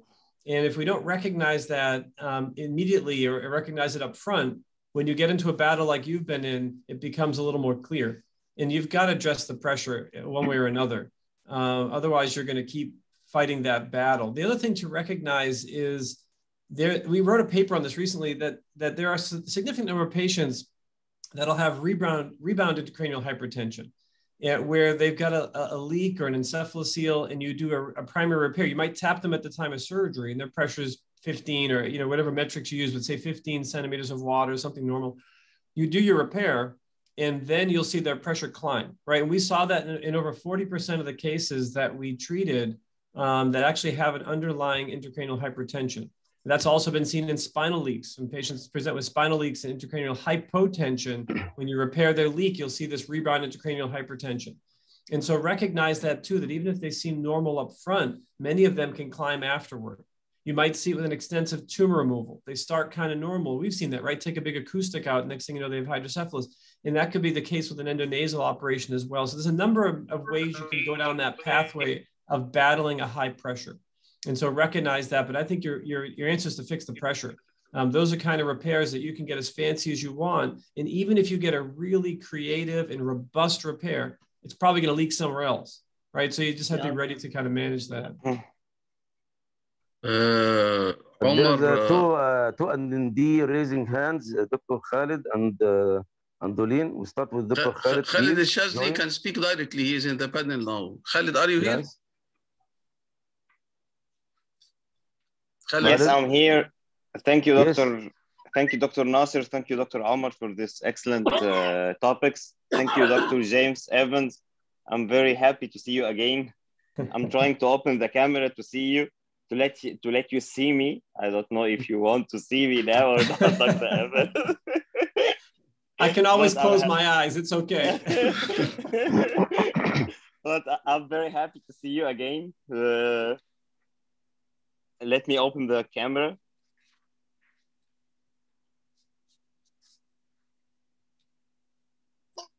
Uh, I, am not sure if I, I will be able to open it. I'm trying. but anyway, I'm happy to see you. Uh, COVID make uh, us uh, make it very difficult for all of us to, to reconnect. But thanks to Zoom meeting and thanks to all my uh, all this technology and uh, all the efforts of my professors, I, I want to, to make it short for you. My question, maybe I know some information about it, but uh, not all. uh, my question is, in case we, we face uh, uh, a tumor where we are not quite sure if we are going to use the nasoseptal flap or not, um, in case of probable need, if we probably will need nasoseptal flap, but we are not quite sure, here in Egypt, we sometimes cauterize the, the flap. Some people don't, but there is a technique you use to preserve the nasoseptal flap in all cases. You, you, you, do endonasally. Uh, some do the rescue flap, some do other techniques. I think you have techniques for all the cases. Can you let us know rapidly how do you use it? Thank you. Thanks, uh. So um, yeah, so the, I think you need to plan in advance. Number one, uh, planning ahead is the most critical thing, and, that comes with experience and you know recognizing whether you may need the flap or not. Uh, there are certainly circumstances when all of us get surprised, and and, and maybe you, you find you need it at the end, or you harvested it and you don't need it at the end. So we have a whole algorithm for that. In fact, we have a, a some previous publication and another one we're working on currently um, that sort of goes through these these uh, graded approaches because many, you know, for, for instance, for pituitary surgery, you can do something as simple as a, unilateral, a unilateral approach. I do it all the time. And it, it reduces the morbidity by 50% because you don't even enter the other nasal cavity. It also inherently will preserve the other flap perfectly. And then you just have to worry about preserving the ipsilateral flap. So that's one example of that. But we have a graded approach, much like we have our graded repair um, algorithm that I um, presented. Uh, a couple of things. So one is if you're not sure, raise the flap in the beginning. But the important thing is you can put it back. We didn't know that in the beginning. This was all things we just discovered in the early 2000s. But you can mobilize a flap if you're careful and put it right back on the septum. And I could show you videos and different presentations that we have that in many cases, and you couldn't tell which side I harvested it from. It heals beautifully and it preserves the pedicle and it doesn't shrink and scar if you're if you're careful with the tissue. So one thing is what we call a raise and return. So if you're not sure, raise it, put it back. Or if you need to go down through the area where the pedicle is located, you could always um, raise the flap, do your resection because you would have disrupted the pedicle if you didn't raise it, and then simply put it back on the septum. Um, we have a number of other approaches we use. You mentioned something called rescue flap. And this is a way of making a couple of back cuts, basically starting the first couple of cuts of raising a nasal septal flap uh, in order to try to uh, avoid damaging the pedicle. And that also came from a combination of our UPMC colleagues and now our other colleagues, uh, Rick Carrau and, and Danny Prevedello at OSU and some other centers that really promoted that. In the beginning, there were problems because they'd make those cuts and they would disrupt olfaction by way of using cautery and cutting up, up superiorly. so they developed something called the SOS flap, um, which was septal olfactory strip sparing flap. And in order to try to prevent that, that anosmia, we never went that route. Uh, Marc Rosen, my, my close colleague, and I, and the rest of our team went a different route by mobilizing the mucosa without making all those cuts. And so you can actually mobilize down the pedicle and still make a large sphenoidotomy without making cuts for, for the rescue flap and just still preserve the pedicle and put it back where it belongs. Um, but we use tailored type approaches. If I need a, a sphenoidotomy on one side for pituitary tumor, on the opposite side, I may just open the sphenoid os a little bit, just enough to get my camera or an instrument in. You don't need a wide open with both turbinates out and huge septectomy in every case. In fact, we've also worked toward minimizing the septectomy even, where we don't do any septectomy for the majority of our cases, and zero mucosal septectomy. We just mobilize the tissue and put it back.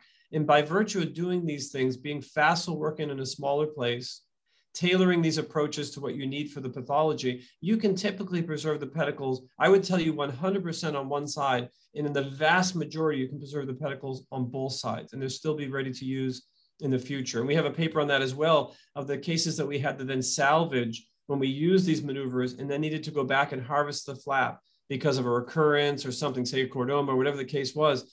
And we were able to preserve and utilize the flap in all those cases. And so if you follow these kind of tailored approaches, you'll by nature protect the pedicle from the beginning. You don't need to just go in and cauterize the pedicle on both sides. Um, there's ways you can you can do this in a, in a gentle way, but you need to be comfortable working in a smaller place and working beyond some anatomy where you don't open everything so widely um, on, on each side. Um, so, and I could just refer you, so I don't take too long, to a couple of the papers we wrote, or I'll be happy to speak about it another time if that's helpful. Thank you very much. I think I think we have uh, somebody raising hand. Uh, yes, uh, Dolian. Dolian. Can you speak directly or now in the panel? Unmute him. Uh, unmute uh, Ahmed Magdi. Unmute him, Ahmed Magdi. He's already unmuted. Okay. Okay, until he join, until he join, uh, I'd like to introduce Muhammad and Noali. Muhammad, are you here?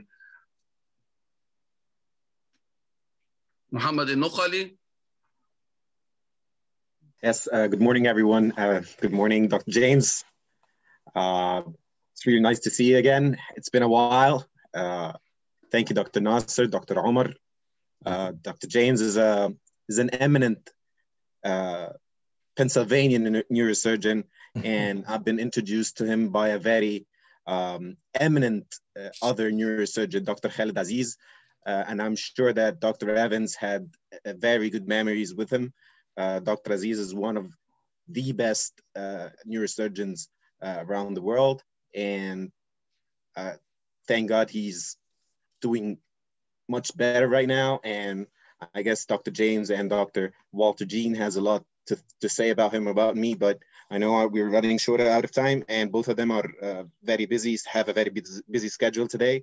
So uh, thank you so much for having having uh, you here and we hope that you are um, become a frequent uh, a, a member of our panelists. It would be my pleasure, honestly, my pleasure. I enjoy all of you and, and, all the work you do. And if I could just make a kind word about our good friend Khalid Aziz, I've known him for many, many years. He's been like a brother to me. And I will tell you that he is not only a spectacular, smart, and skilled surgeon, but he's got a heart that's even bigger than that. Uh, this is the kind of person that will give you the shirt from his back and uh, and more. And I really Absolutely. think the world of him. And when you when and if you see him, give him my regards and. Uh, he's a good, good, close colleague. We have many, many long uh, years of fond memories. So thank you for mentioning Colin. I will call him on the weekend and I will make sure that I'll tell him that. Thank you, Please. sir. Thank you for having Please. me. Thank you very Thank much. Thanks, Muhammad. Uh, Muhammad helped me uh, in organizing this webinar. I would like to thank him actually. And uh, I, I, I'm going to introduce the Professor. opportunity, sir. Thank you. Thank you very much. Professor Hisham Bassiouni from Germany. Hisham, are you here? Hisham? Okay. Maybe he joined. I'm, I'm, I'm, Oh, I'm here. I'm sorry. I, I was just, I was just unmuted. I'm sorry. thank Uh, you very thank you very much. I said good morning, good evening, wherever you are. thank you very much. Thank you, Hisham. Do you, do you like to make any comments about, about uh, the talks? Uh, or we uh, move to the next uh, Uh, speaker? just, just one comment, and Professor Ali asked the question if there's a high pressure um, um, situation after removing a tumor. Um, in very few cases, I think you will end up with a shunt. There's no sol other solution than a final shunt. I personally, um, I'm preferring the um, uh, the uh, ventriculoperitoneal shunt. I'm not using the lumbar, lumbar peritoneal shunt. Um, but I, even if the uh, the neuroimaging is uh, is uh, looks good and shows no hydrocephalus, but you have got um, um, well ma maybe a malresorption situation after removal of the tumor, and you are you are making revisions and revisions and trying to do your best to, to solve the CSF leak, but um, finally the, the shunt may be a solution. So this I just want to, to add uh, to, to a very beautiful presentation, Professor James. Thank you very much. Thank you, Professor Hisham. Uh, Omar, do you have other questions? Yes, there's a, a one question to Dr. Misra. Uh, he's here or he left? Professor Misra, he sent me a message uh, and he will be back in, uh, he has he has another webinar just starting now Mhm. and he is moderator. He will come back after 10 minutes. And so maybe we make okay. uh, this question at the end of the Yeah, after session. he We comes have, back. We have another Yes. panel discussion at the end of this session. I think Okay. now, uh, uh, Omar, we uh, move to the to our third speaker. Would you introduce him, please? Uh, Yes, uh, uh, thank you, Dr. James. Thank you, Dr. Misra. Now to the second uh, session. Uh, Dr. Ali El Mashar from Oman. Uh, welcome, Dr. Ali. He will speak on the supraorbital keyhole surgery for brain tumors and aneurysms. Please welcome. Thank you, Prof. Can can share the Yes, please. the power? Yes. You are seeing my. Uh, Not yet. Not yet. okay, I'm sharing. So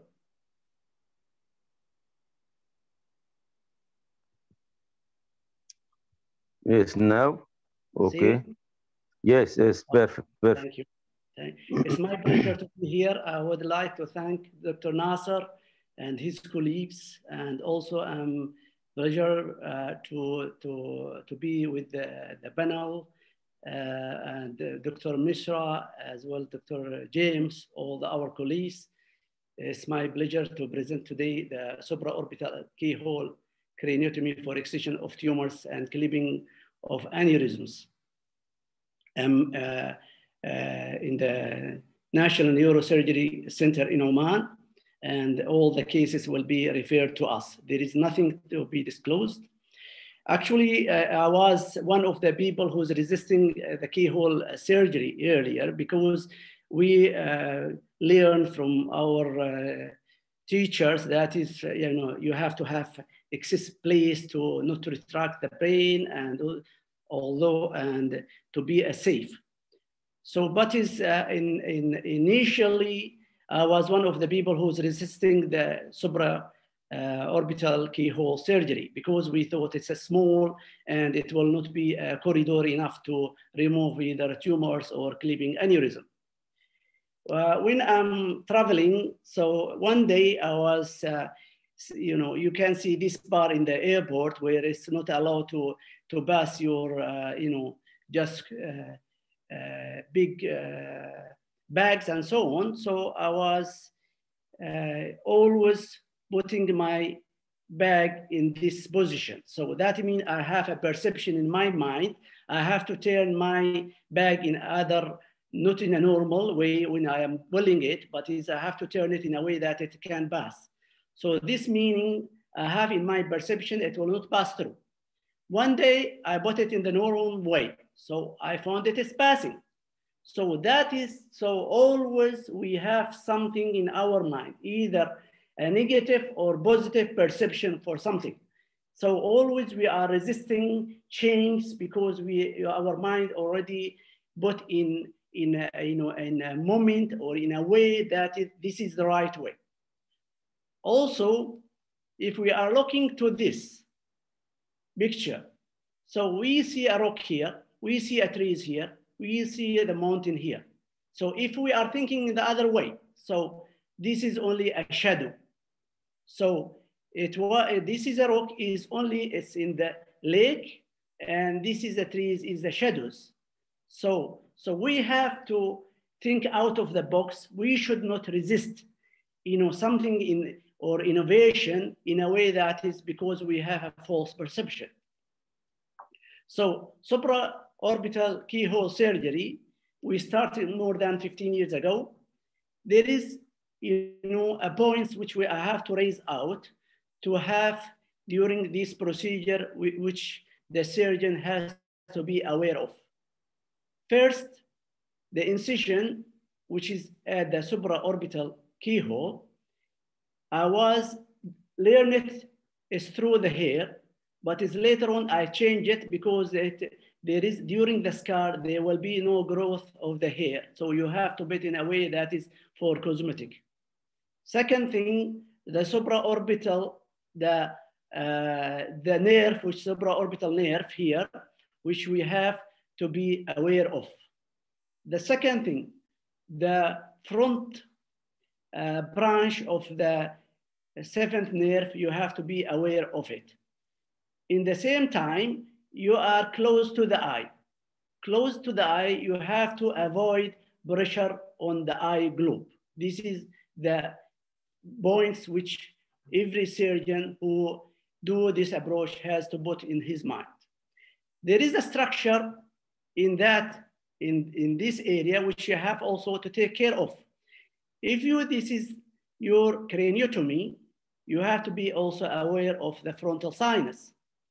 Also about the temporal uh, muscle, which the frontal uh, branch of the seventh nerve is there. So if sometimes you may have to extend to approach a tumor which is beyond to your view, you have to dissect the muscle with all uh, neural and vascular branch slightly lateral so you can reach the area properly. Here, when you do craniotomy, that is the the rim here, the interior, the inner blade, the inner part of the bone, you have to dr drill it. And this drilling will give you an excess of one or two millimeters, which give you a big corridor when you drill that, the inner blade of the, the, the bone. So we have a points, frontal sinus, supraorbital nerve, frontal branch of the seventh nerve, and also the inner drilling of the inner part of the bone. This is very important points to keep in mind. The patient will be in this position. We are looking to him in this way, but in, during the surgery, he will be in this position.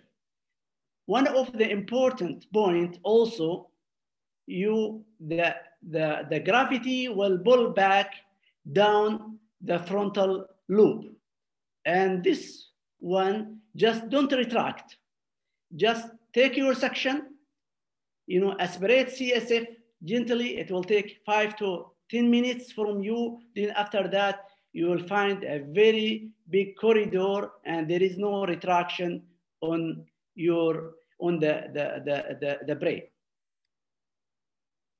So in this, after that, you will find yourself in front, when you retract, just the, there is no retraction, just supporting the frontal lobe.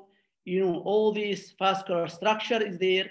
If there is a tumor is there, you may also go medial or lateral according to your uh, uh, approach and the tumor or the clipping of aneurysm.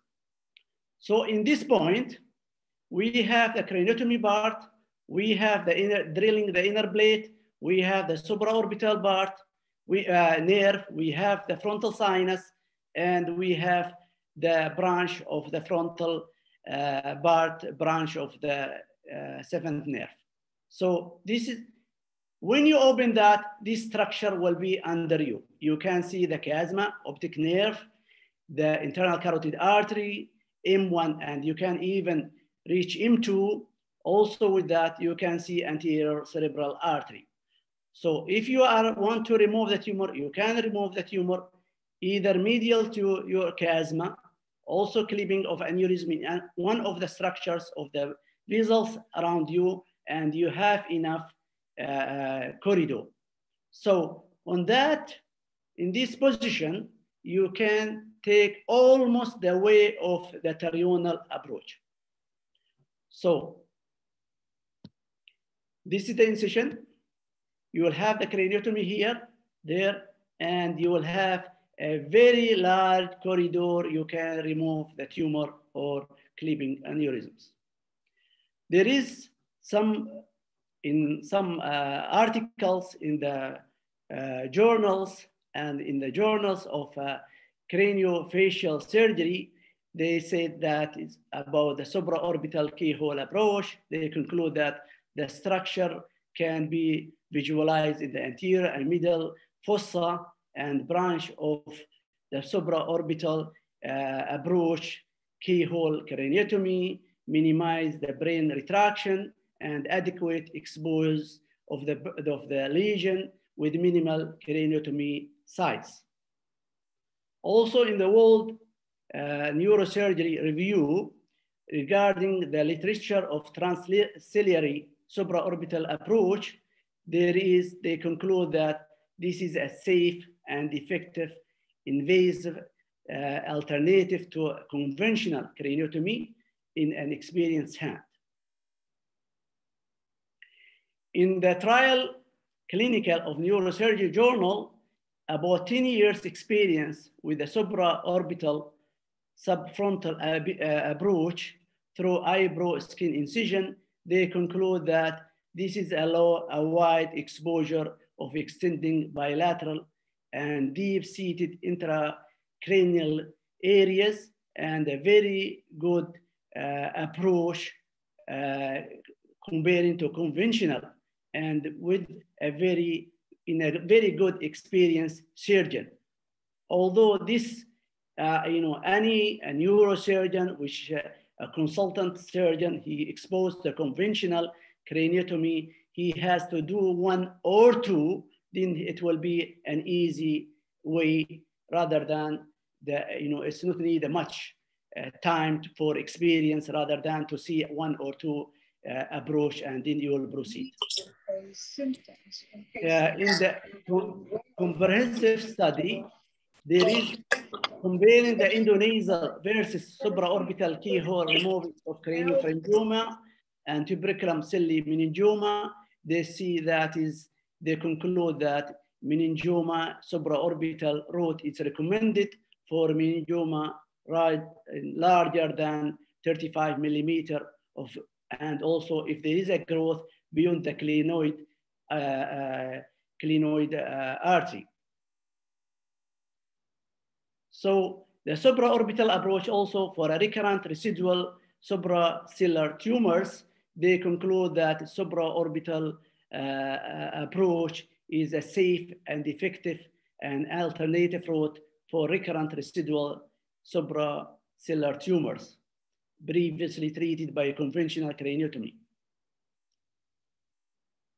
In Journal of Neuro, Neurology and Neurosurgery, uh, supraorbital keyhole approach to the skull base evaluation, the complication of CSF leak, they found that, you know, usually in a conventional, it's coming from zero to 9.1.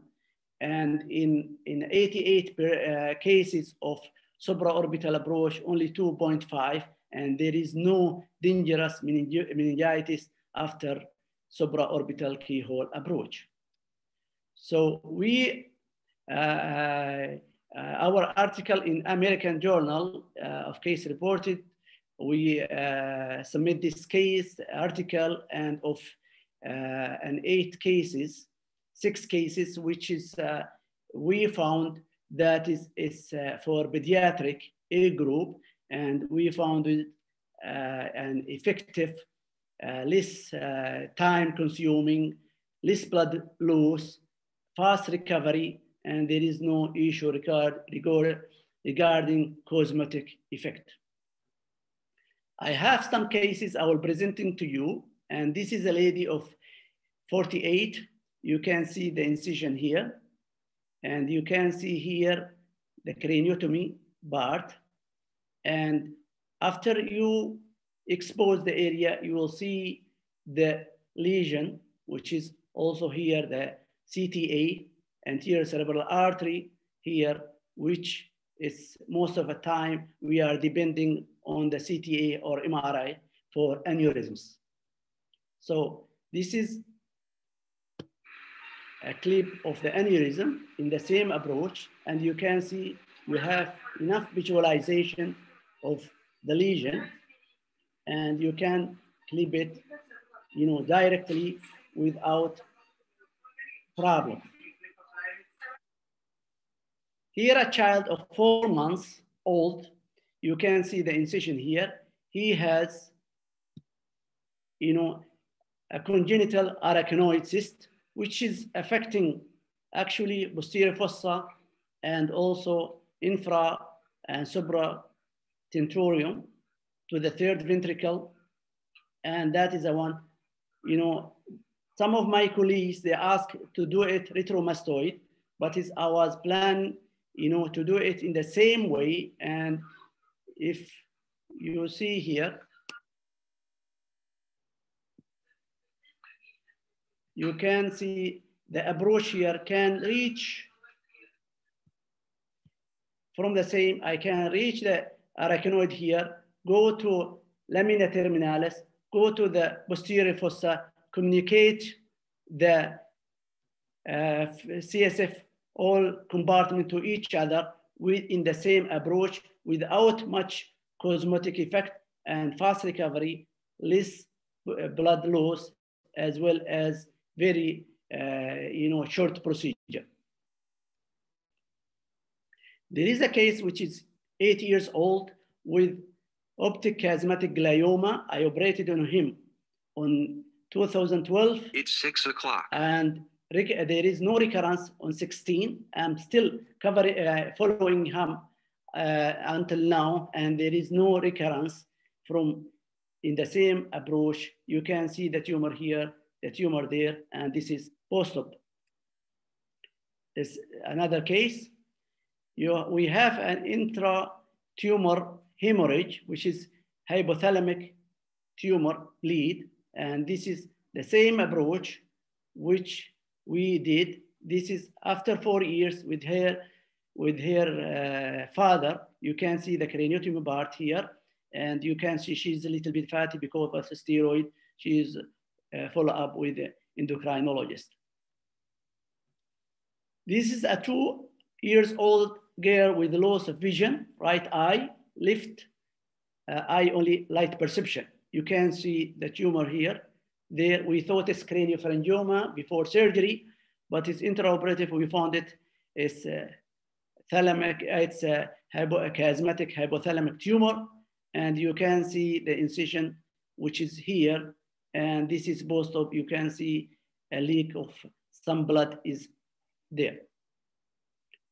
Another case, which is 12 years old girl, you can see huge tumor, which is chiasmatic hypothalamic tumor here. And you can see both of the coronal, sagittal, and axial cut. So this approach, you can remove even huge tumor with the same approach. You know, it's not, it can take almost, almost, you know, like the conventional tinto, uh, uh, uh, the uh, pterional approach, almost you can do it with the same approach, supraorbital. This is, you can see the incision here. Now already I changed the incision up at the end of the hair rather than, because here the scar, you can prevent uh, growth of the hair. So I'm now changing here, there, and you can see one of my patient, which is here. She's a doctor. This is, she is a doctor. So I have this, uh, a pilocytic astrocytoma. I thought it was, before it was uh, craniopharyngioma, but it, came to be uh, pilocytic astrocytoma. And you can see here the incision at the end, almost hairline. So you can, with, uh, you know, uh, makeup, almost you cannot, you cannot see the incision. It's a good for young age group children, six months old, with fail to thrive, cachexia, decreased vision, unable to sit, and here only weight is three kilos, almost 240 mil of blood. If we do it, this one with, this is here, MRI, we do it with a conventional pterional, whatever approach, before we reach, she will lose her blood. But this one, there is no transfusion because there is no drop of blood almost from the same incision. And you can remove totally the tumor with the same approach. You can see small part of the tumor is here. This is another case which is 13 years old. You can see the incision here where it's stopped. There is no growth of hair, but this is anterior cerebral artery, a CTA, and you can see the clip here. So with this, I conclude that supraorbital keyhole approach is a useful and eyebrow to, safe, effective, suitable, convenient for the treating of tumor of anterior fossa and middle fossa. And it's an excellent approach for pediatric age group because less time consuming, minimal blood loss, fast recovery, and there is no almost uh, cosmetic effect. Thank you very much. Uh, thank you, Dr. Ali, for this uh, very nice presentation. We we shift to the next uh, speaker, and the discussion will be after the second talk. Uh, Dr. Walter. Omar, uh, Omar now our last speaker, Professor Basant Misra, came back. again. we have some questions for you, Basant? But would you excuse us after Walter Jean? we are going to to have some discussion, okay? Basant, can you hear me? Yeah, yeah, yeah, I can hear you. Okay, thank yeah, you very ahead. much. Now we are honored to introduce Professor Walter Jean from United States of America. Uh, Omar, can you introduce our guest, please? Uh, okay, thank you, uh, Dr. Walter Jean, uh, joining us for this uh, very nice uh, session. Dr. Walter Jean, he will speak on the mixed reality in skull-base neurosurgery. Yes, welcome. Thank you. All right, I'm going to go ahead and share my screen. Uh, okay, here we go. Uh, thank you very much for the invitation. It's a great honor for me to be here with you for the session on modern skull-base surgery, webinar number 36 uh, with the Egyptian Society, uh, to be on a panel with uh, with Jim Evans and and uh, uh, Dr. Misra and and Dr. Um, I'm going to pronounce your name, Al Mashani. it's a great honor for me. Thank you very, very much. Um, let's see, I am going to continue. Uh, th this is the only Egyptian neurosurgeon I know, and it's the aforementioned Dr. Khalid Aziz. He and I were fellows together in Cincinnati, uh, and this was a picture a long time ago. And of course, uh, here we go again with, with the mention of Khalid.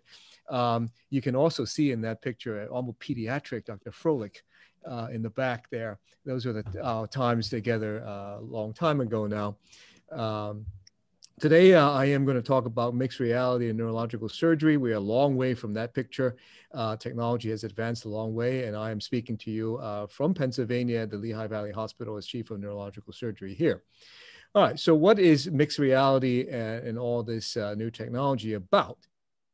Uh, mixed reality is a combination of virtual reality, uh, augmented reality, and augmented uh, and, and uh, artificial intelligence. Uh, virtual reality simply is a technology that we can use to transform uh, two-dimensional MRIs and CT scans into three-dimensional objects.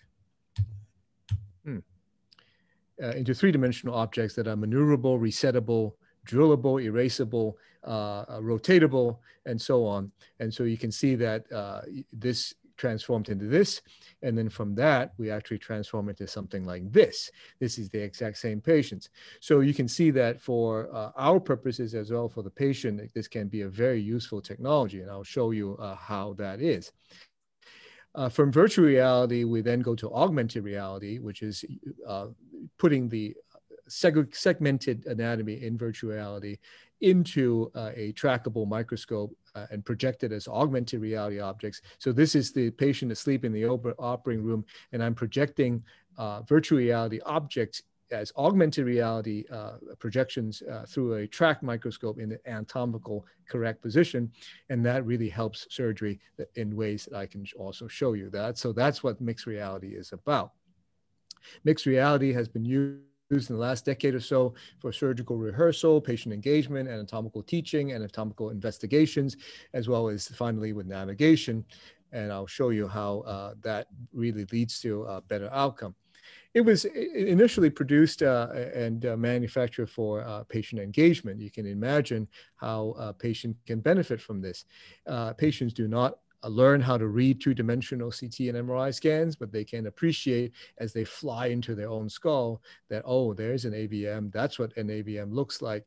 That's what an in, uh, inflow looks like. And that's what the outflow looks like. And, oh, this is how you're going to operate on me. This all makes sense. So it uh, gives the patient a new perspective on uh, what their pathology is and why they might need surgery. Uh, from a surgical planning point of view, it is also very important. Uh, the initial uh, renderings of, of, this technology we used only for uh, examining the anatomy, but now we can really interact with the anatomy for surgical planning. Here's an example. Here's a uh, somewhat complex tumor in the pineal region uh, that has many approaches. We don't have to do any guessing with experience anymore. We can simply practice the approaches like the interhemispheric approach uh, in virtual reality and discover that, aha, it may not be the best approach. Let's try another approach to see whether it is a better approach. So the supracerebellar infratentorial approach, is this any better? Uh, it may be better because I'm not getting covered by the corpus callosum in this particular patient. Uh, but the angle of the tentorium in this particular patient is actually a little bit challenging. So again, I don't need to be guessing about uh, how much I might struggle in the OR, I can see that uh, in my practice, how I might struggle with the tentorial angle. So I can try another approach, the paramedian approach, and discover that this in fact is the optimum approach. And this one is gonna make life a lot easier for me and for the patient. What it's really good for is, uh, and I'm glad that I had a keyhole talk in front of mine because we're going to talk a little bit more about the keyhole and, and uh, nuances, what virtual reality and augmented reality really is great for is the keyhole uh, concept of minimally invasive neurosurgery. Uh, whenever we look through a keyhole, like the supraorbital keyhole just uh, mentioned, we really want to see this. We want to see beautiful sky, beautiful view, uh, plenty of room to work. Uh, but if the keyhole is not placed right and in, the, in too small size or too uh, bad a location, it can actually generate a nightmare for us. So how do you optimize the keyhole position? I call this the Goldilocks principle. You uh, all remember the story of Goldilocks and the three bears. Uh, she went into the house of the three bears and discovered that some things are too hot, some things are too cold, and some things are just right. So uh, the Goldilocks principle of skull-base surgery or keyhole surgery simply means that for example, the hole is not too small, not too big, just right. It's not too anterior, not too posterior, just right. So that's the Goldilocks principle of where to put a keyhole. It involves the three S's, size, specificity, and safety. So it has to be the right size, so it's not too small, not too big. It has to be the right location anatomically, not too far forward, not too high, not too low, just right, and thereby generate safety for a small opening to do the operation. So how does augmented reality, virtual reality help us do that? Here's an example. We can do a burr hole uh, for microvascular decompression uh, with augmented reality and, and virtual reality help. Now, this operation for, uh, for an MVD can be done through a very, very small hole. The hole can be placed precisely at the transverse sigmoid junction. It is only, we do bigger holes because we're not so sure where that transverse sigmoid junction is. And, uh, you know, even with navigation help, that junction is not very easy to find. What in virtual reality you can do is that you can actually look at the skull, look at the fifth nerve, uh, as you see here, and the offending artery here, and you can drill that hole from inside of the skull out. So you know precisely where that hole is going to be. So I can then do this in the office, put the hole in the exact location where I need to be, and then now save that as a template. Now, what, what does that mean? That means that the hole that I drilled in is saved as a computer file that I import into the operating room as an augmented reality template. I'm going to I'm going to project that template onto a anesthetized patient now in a navigation tracked microscope. So that hole is projected in the exact same location as I did practice in the office. So you can see that there's the marker for the burr hole. That burr hole is projected onto a, a fixed patient, fixed in the OR. I am marking that burr hole uh, as I practiced uh, in the office in an anatomically correct location. You can see the mastoid here, the ear, the patient is here. And this is all projected in augmented reality. Once the bone is exposed, I'm going to reproject that hole, reproject that marker. And again, the hole is made in the exact same location as I practice it with my inside out drilling. Now I simply duplicate that hole. Again, only 13 millimeters. Uh, put the sponge in to decompress the fifth nerve. And uh, I'm simply duplicating a plan that I've already made in the office. And I back out, and there you have it 13 millimeter hole craniotomy done, uh, successfully decompress the trigeminal nerve. So navigation is now used not to find your way in the operating room, but navigation is now used to uh, uh, duplicate a plan. These virtual reality created templates projected as augmented reality objects are now simply the plan that you're going to duplicate in the OR. You're not using navigation to find your way anymore. Here's an example of a keyhole opening. Um, here's an op- clinoid meningioma that we're going to do through a very small opening. In virtuality, you examine the, uh, the anatomy and you can try out various approaches. The first one we're going to try out is the supraorbital keyhole. Uh, I'm not going to belabor the point, but we can do the supraorbital keyhole in virtual reality. We're going to take the orbital bar with it. Boom, the foam flap is gone. And then and we're going to try to practice that and uh, clinoidectomy. We're going to do another approach, the mini pterional approach. We're going to drill inside out again. We're going to put that hole right at the tip of the sphenoid wing. We're going to drill a three centimeter only diameter uh, keyhole, mini pterional keyhole for this. And you can practice both operations. And in this particular case, I decided that the mini pterional approach was a little bit better. So on we go. We take that as a now a navigable template and we're going to project it onto an anesthetized patient in the OR. There's the anesthetized patient's eyebrow. There are the objects, and here's my template. There's my template in the tracked microscope, tractor navigation. I'm going to mark that templated opening onto the patient's scalp, scalp, and then from there plan the incision and plan the hair shave. There it is. And I'm again just simply duplicating the plan that I had already practiced in the clinic, in the office, and so on and so forth. I'm not going to belabor the point. I'm going to fast forward here. We're going to do the anterior clinoidectomy. That's the anterior clinoid loose. Clinoid comes out.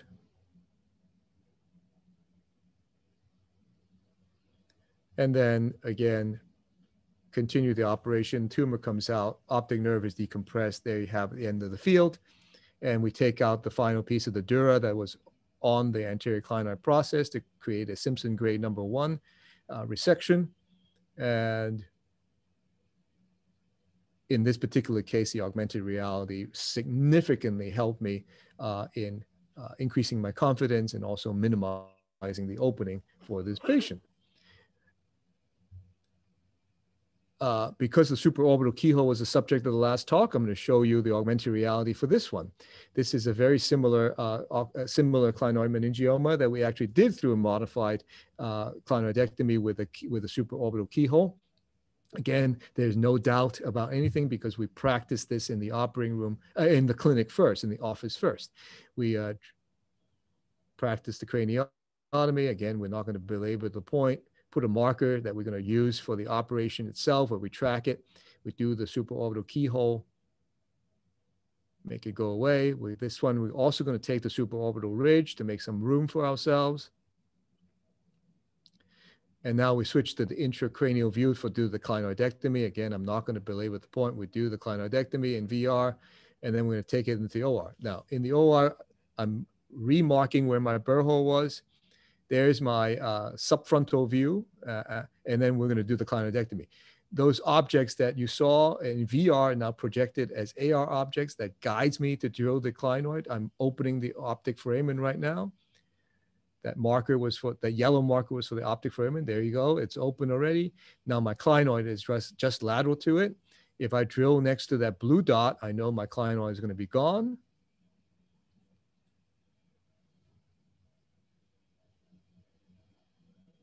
And in fact, we use that blue dot to drill off the clinoid and then the tumor comes out nicely. There's the clinoid completely gone and then the rest of the operation went, went fine, tumor's gone, uh, no more tumor. So uh, that's a supraorbital keyhole. Now, uh, how about some uh, uh, very unusual approaches that we don't do every day? This increases our confidence and minimizes the cosmetic uh, damage to the patient. Here's a uh, intraaxial tumor. Uh, we rehearse the lateral transorbital approach. there'll be no guessing as to whether this will be enough. This will be plenty because we practice it in the office. There's your lateral orbital rim gone. We're going to drill out the orbit the greater wing of the sphenoid. That uh, tumor should be right there underneath that opening. Uh, that should have no trouble with exposure whatsoever.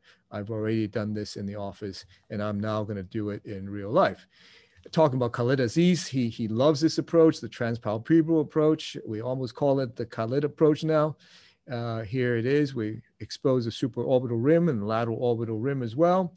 We're going to take off the lateral orbital rim to replace.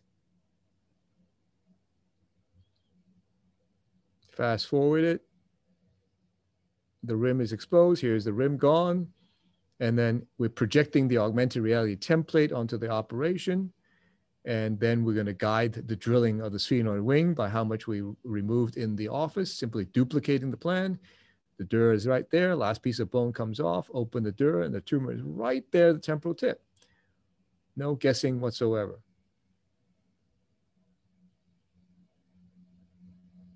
Tumor resection is not very exciting. We can move on.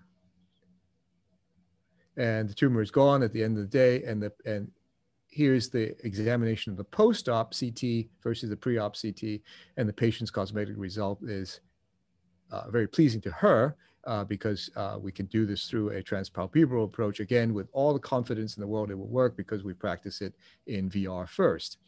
Uh, final thing to say is about the middle fossa. This is really great for the middle fossa because the middle fossa has a lot of hidden things that we don't want to hurt. Uh, namely, when we drill Kawase's, we don't want to hurt the cochlea, the labyrinth, the seventh, eight nerve complex, and the carotid artery. Uh, with virtual reality, I don't have to uh, guess where they are, and I'm not relying on uh, monitor-based navigation. Monitor-based navigation has a problem that you always have to look away from the field and look away from your microscope. Uh, you're trying to find a three-dimensional object in two dimensions. Superman doesn't need a monitor. Superman sees right through it. And so augmented reality gives us that Superman X-ray vision. Uh, here's an example. So I have the drill Kawase's here. I don't have to guess where I have to drill where I don't, don't have to drill because I'm going to first practicing in, in the office, drilling this Kawase and I can fade the bone opacity in and out so that I can see all those hidden objects. That is for Eminho Valley marker. I'm going to put a marker right at Meckel's cave in the lateral aspects to know where to stop drilling anteriorly. That yellow uh, wall that you see back there is a seventh eight nerve canal uh, projected upwards. And you can see that I've segmented the cochlear and the labyrinth uh, through the bone uh, so that I don't drill into it. I'm going to practice the drilling in the office and make sure that that has an, gives me enough room. And then again, not to belabor the point, we're going to take that as navigable template into the operating room. And here it is. So all those objects that you see that we practice with are now projected into my microscope. There is no way uh, I can drill into the cochlea this way. There's no way I can drill into the uh, labyrinth this way. And I know that I'm going to have enough room uh, as well as enough safety to take out that tumor without any issues.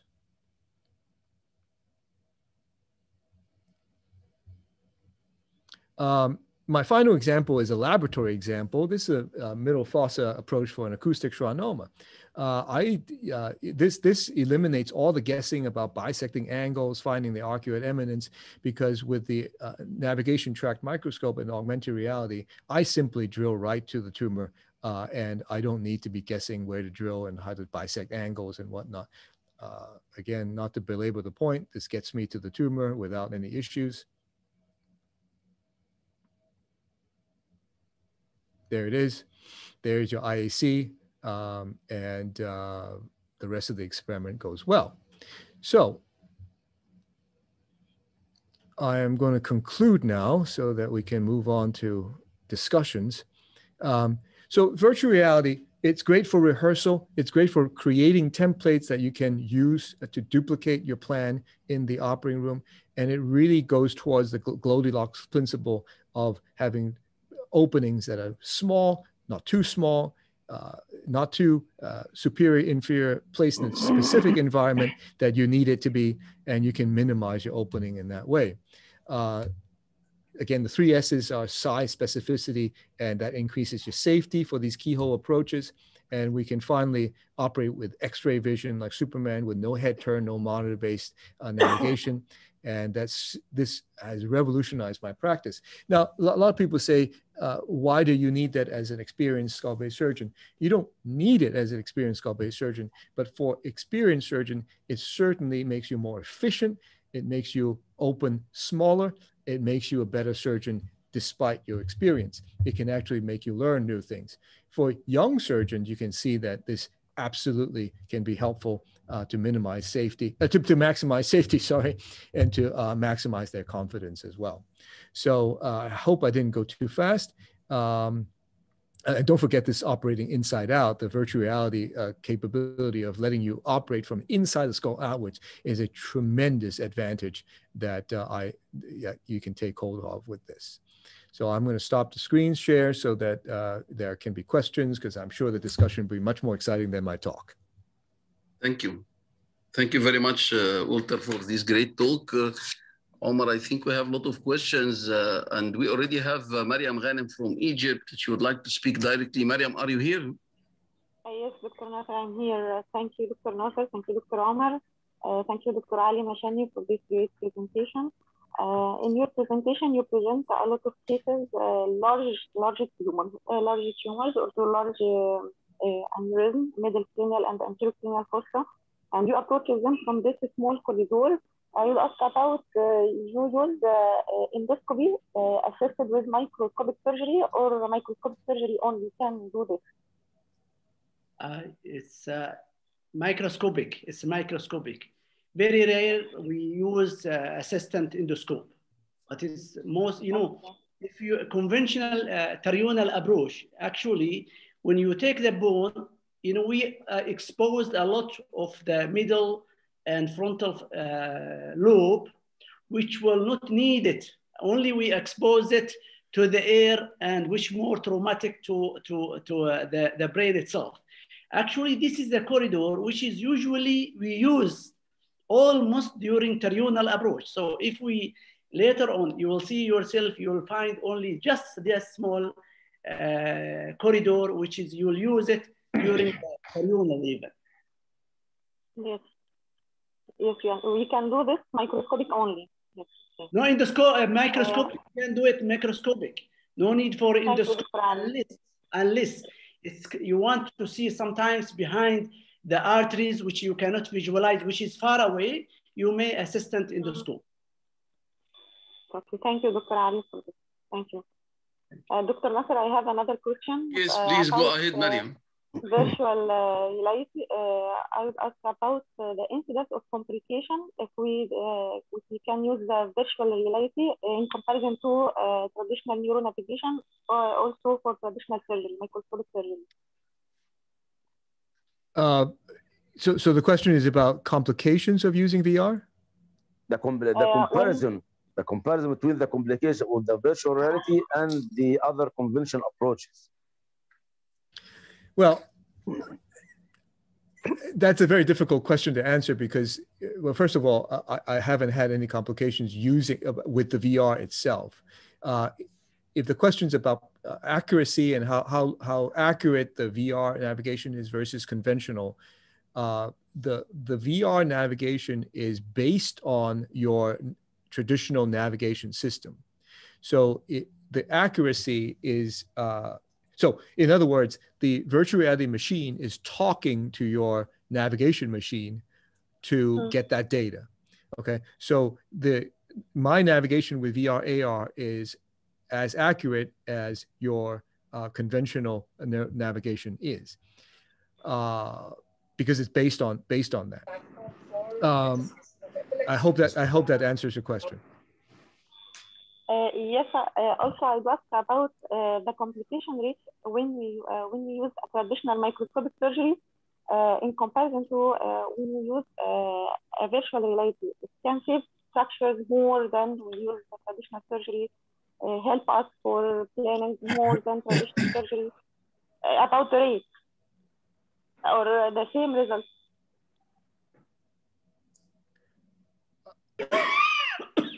So is, is the question about can can using the technology avoid complication? Is that the question? No, she, she Yes, means uh, she yes, means yes. is uh, the impact of the VR uh, on your patients. Uh, the, do you feel there is a, a good uh, impact there uh, in comparison to the conventional techniques and ho- how how much Absolutely. the percentage do you Thank you. suggest? Yeah. It, that that that the, the technology has revolutionized uh, the practice in that it it it, tr- it boosts our confidence tremendously, and uh, it, it, that's what I mean by it makes you a more efficient surgeon, uh, a surgeon with smaller openings, and uh, I think you you avoid complications a lot better. Now the problem is that the data collection.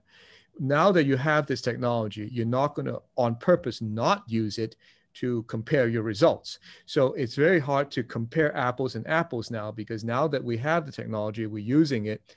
Um, we, we, we don't have a con- case control uh, uh, trial here uh, to compare.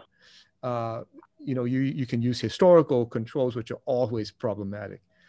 But uh, I can tell you that um, on the occasion where the machine is not working or the machine is not available to me, uh, I feel like I'm operating with one hand tied behind my back now because I've gotten used to the technology so much. I hope that's the best way of answering that. Yes, thank you, thank you. Thank you, Dr. Nasser. Uh, thank you, Dr. Jeans. It, uh, I think it looks like a sort of uh, science fiction movie, uh, Dr. Jeans. Uh, do you think of that or not?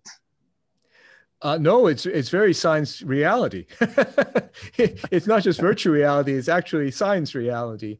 And I think that at, as the technology uh, becomes cheaper, uh, it was going to become more prevalent and hopefully much more widespread. Because I seriously see that this is a revolutionary piece of uh, uh, technology that, just as navigation was when it first appeared for us. And and and, and uh, Dr. Uh, Dr. Misra is back on. Uh, I, I want to make a comment that that we actually did a study for petroclivals. We, you you can you can turn these you can turn patient anatomy into these virtual reality models, and now use those models as laboratory specimen now to study.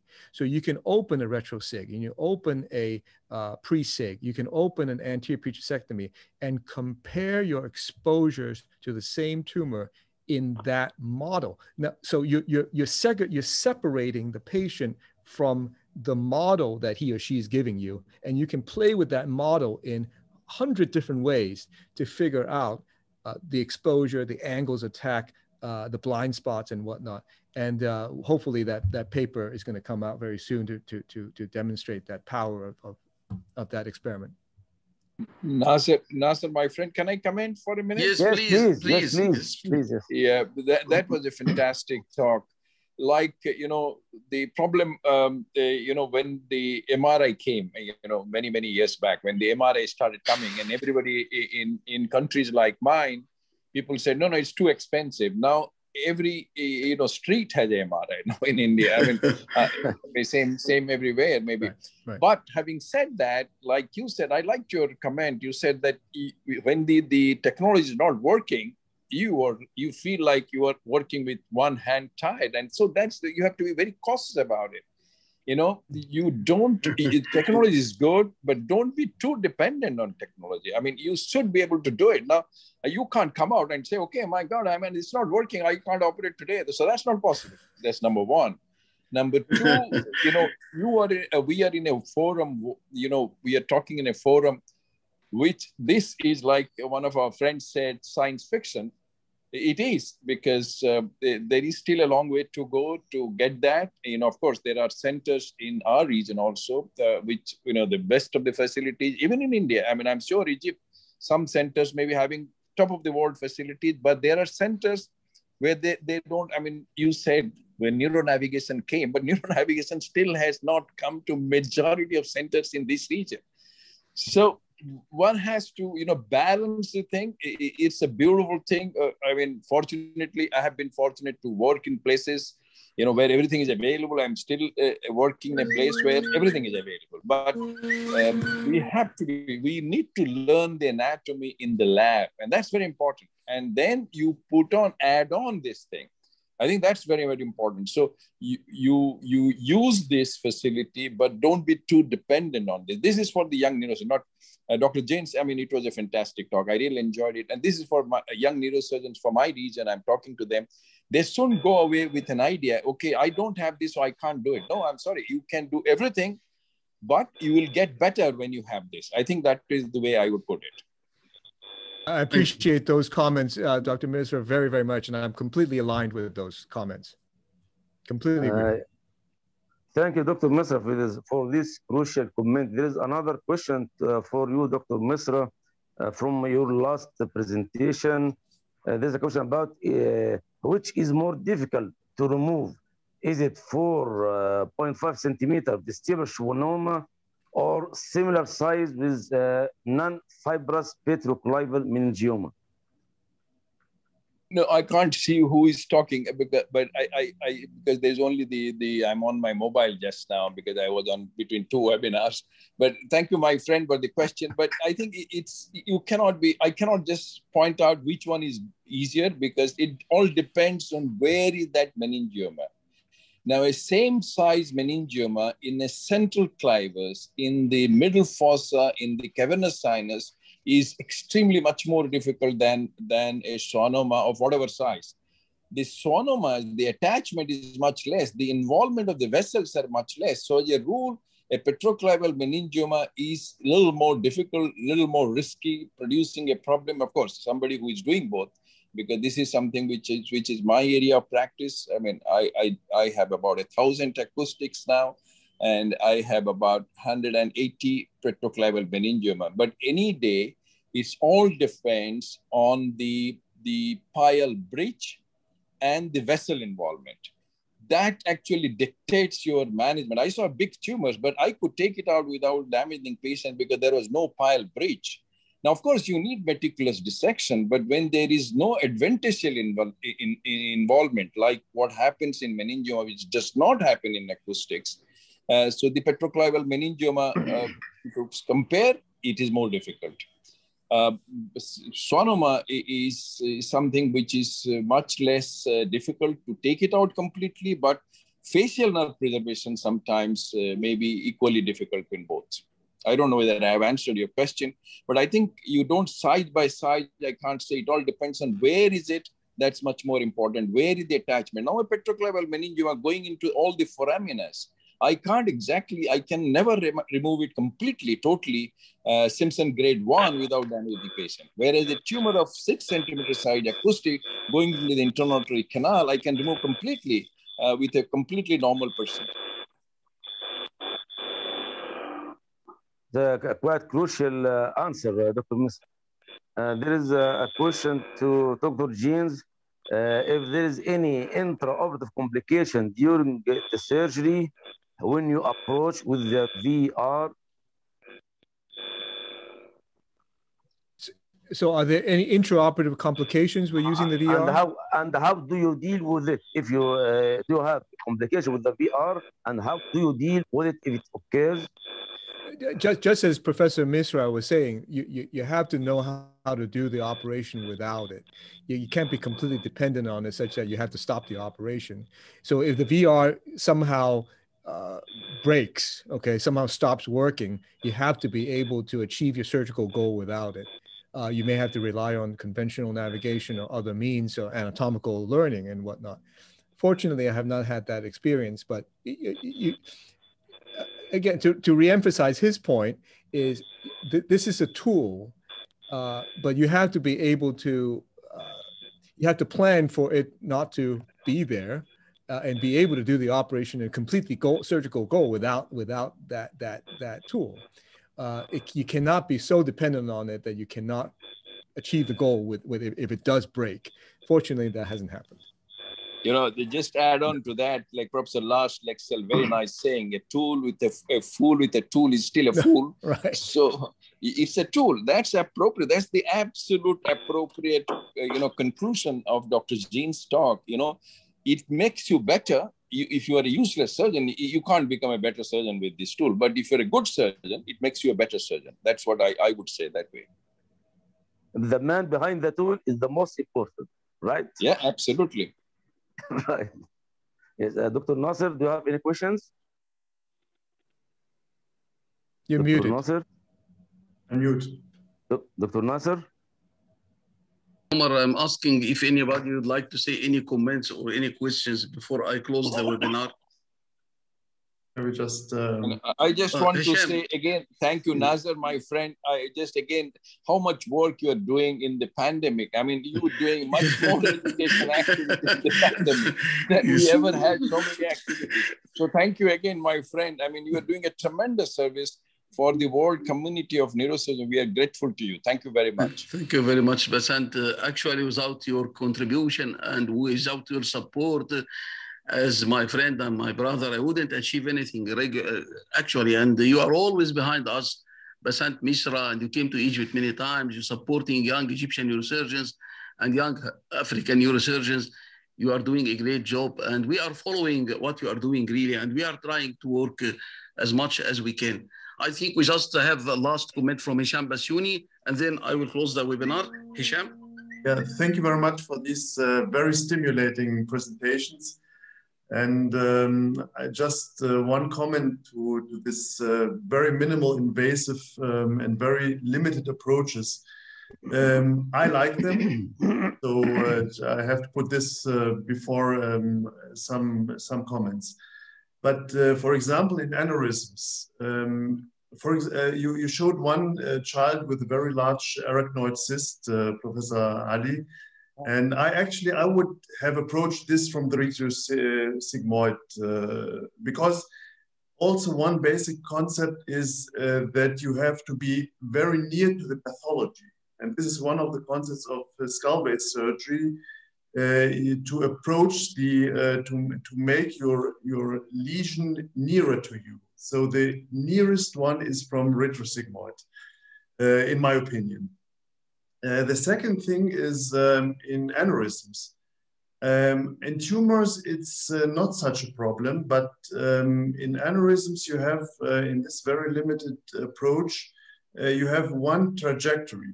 Uh, so you have a very limited uh, view on the patho- on, on the aneurysm.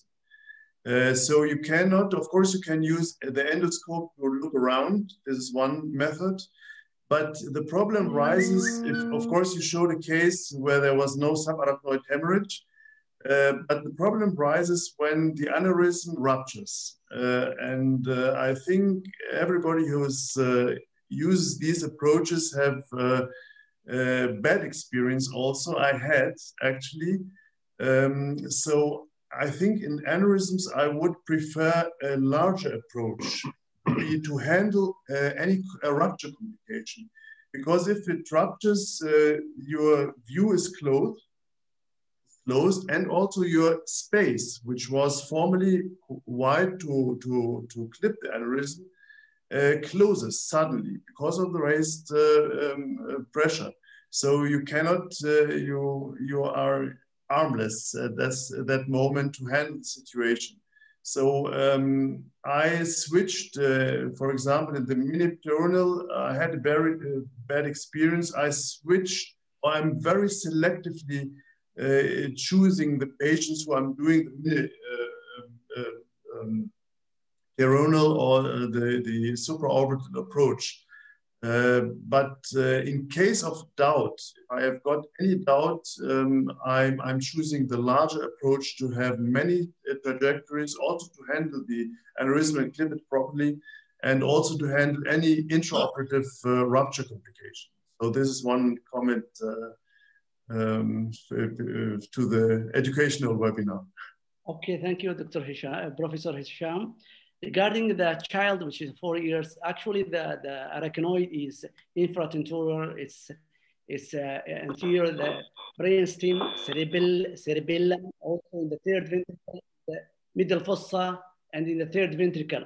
So in that, you, if I go through retromastoid, I will not the, reach the suprapart one, which is I have to open the third ventricle. But it's from this approach, you can go to the third ventricle uh, somebody hearing me? Yes, yes, I hear you. Over yeah. here. Uh, you can go to the third ventricle. You can open the lamina terminalis from there. You can go for the, from the direction you go to the uh, downward. You can open uh, you, the, the, the uh, infratentorial part, cerebellar, you that and that is a way we follow it actually both of MRI and also CT scan later on and everything is working very well. Actually, that is some of my mm. colleagues they ask why not to do it from as you said retromastoid, but you cannot reach the third ventricle from there. So you have to go in a brush. You can tackle the the upper part and the lower part. This is the one. Uh, regarding the aneurysm, actually, I, we, we uh, operate in uh, some of uh, the already ruptured aneurysm and the same approach. Uh, actually, if there is a bleed, the bleed is not an important issue. The moment there is a bleed, okay, you take a, a you put it over the bleed, and that everything will be stopped. So you'll use, you know, I am not believing in many hands in the surgical field. I believe on you know a gentle hand with without affecting the other structure because sometimes you know the complication, morbidity or mortality is because of the overcome and uh, you know uh, and worrying about the bleed. The, the bleeding itself is not an important issue. I think this can be controlled and it's easy. You can even you move the microscope far away. You can reach to the internal carotid artery on the other side. You can see M, uh, A1 on the other side. You can go also from your side. It's an easy. Actually, if someone is practicing it, it's, will, it is an easy. Okay. I, well, I, I had uh, with this, uh, uh, you, you will you will get the case where it ruptures and where you are in a very big trouble. I, I'm I sure had, of this. I had, I had, by the way, I had. I think uh, it's time to close the webinar. At the end of this uh, important session, I would like to thank our distinguished speakers, uh, Professor Basant Misra, Professor Ali Al-Mashani, Professor Walter Jeans, and Professor James Evans. I would like to thank Professors Hisham Bassiouni and Omar Youssef. I would like to thank uh, Muhammad Al-Noqali for helping me in organization of this webinar. I would like to thank my organizing team, Dr. Ahmed Adel, Dr. Mustafa Abu Leil, Hassan Ali, Mr. Ahmed Magdi, IT. And I would like to thank all attendees. The discussion was great and the talks uh, were very impressive. Uh, and uh, I would like to thank all of you. As I announced next Friday at the same time, 2 p.m. Egypt time. This will be webinar 37, cerebrovascular. We have six eminent speakers, Professor Jack Morcos, Alan Taylor, Ahmed Ammar, Ahmed Higazi, Amir Khorashi, and Mbaye Thioub from Senegal. Thank you very much for attendance. Thank you very much for contribution Yeah. and see you next Friday. Thank Thank you. all Thank of you, you. Thank you, all of you. Happy Friday, Thank you. everyone. Thank you. Bye bye. Thank, Thank you you, very much. you. Thank you very much. Thank Thanks. you. Thank you.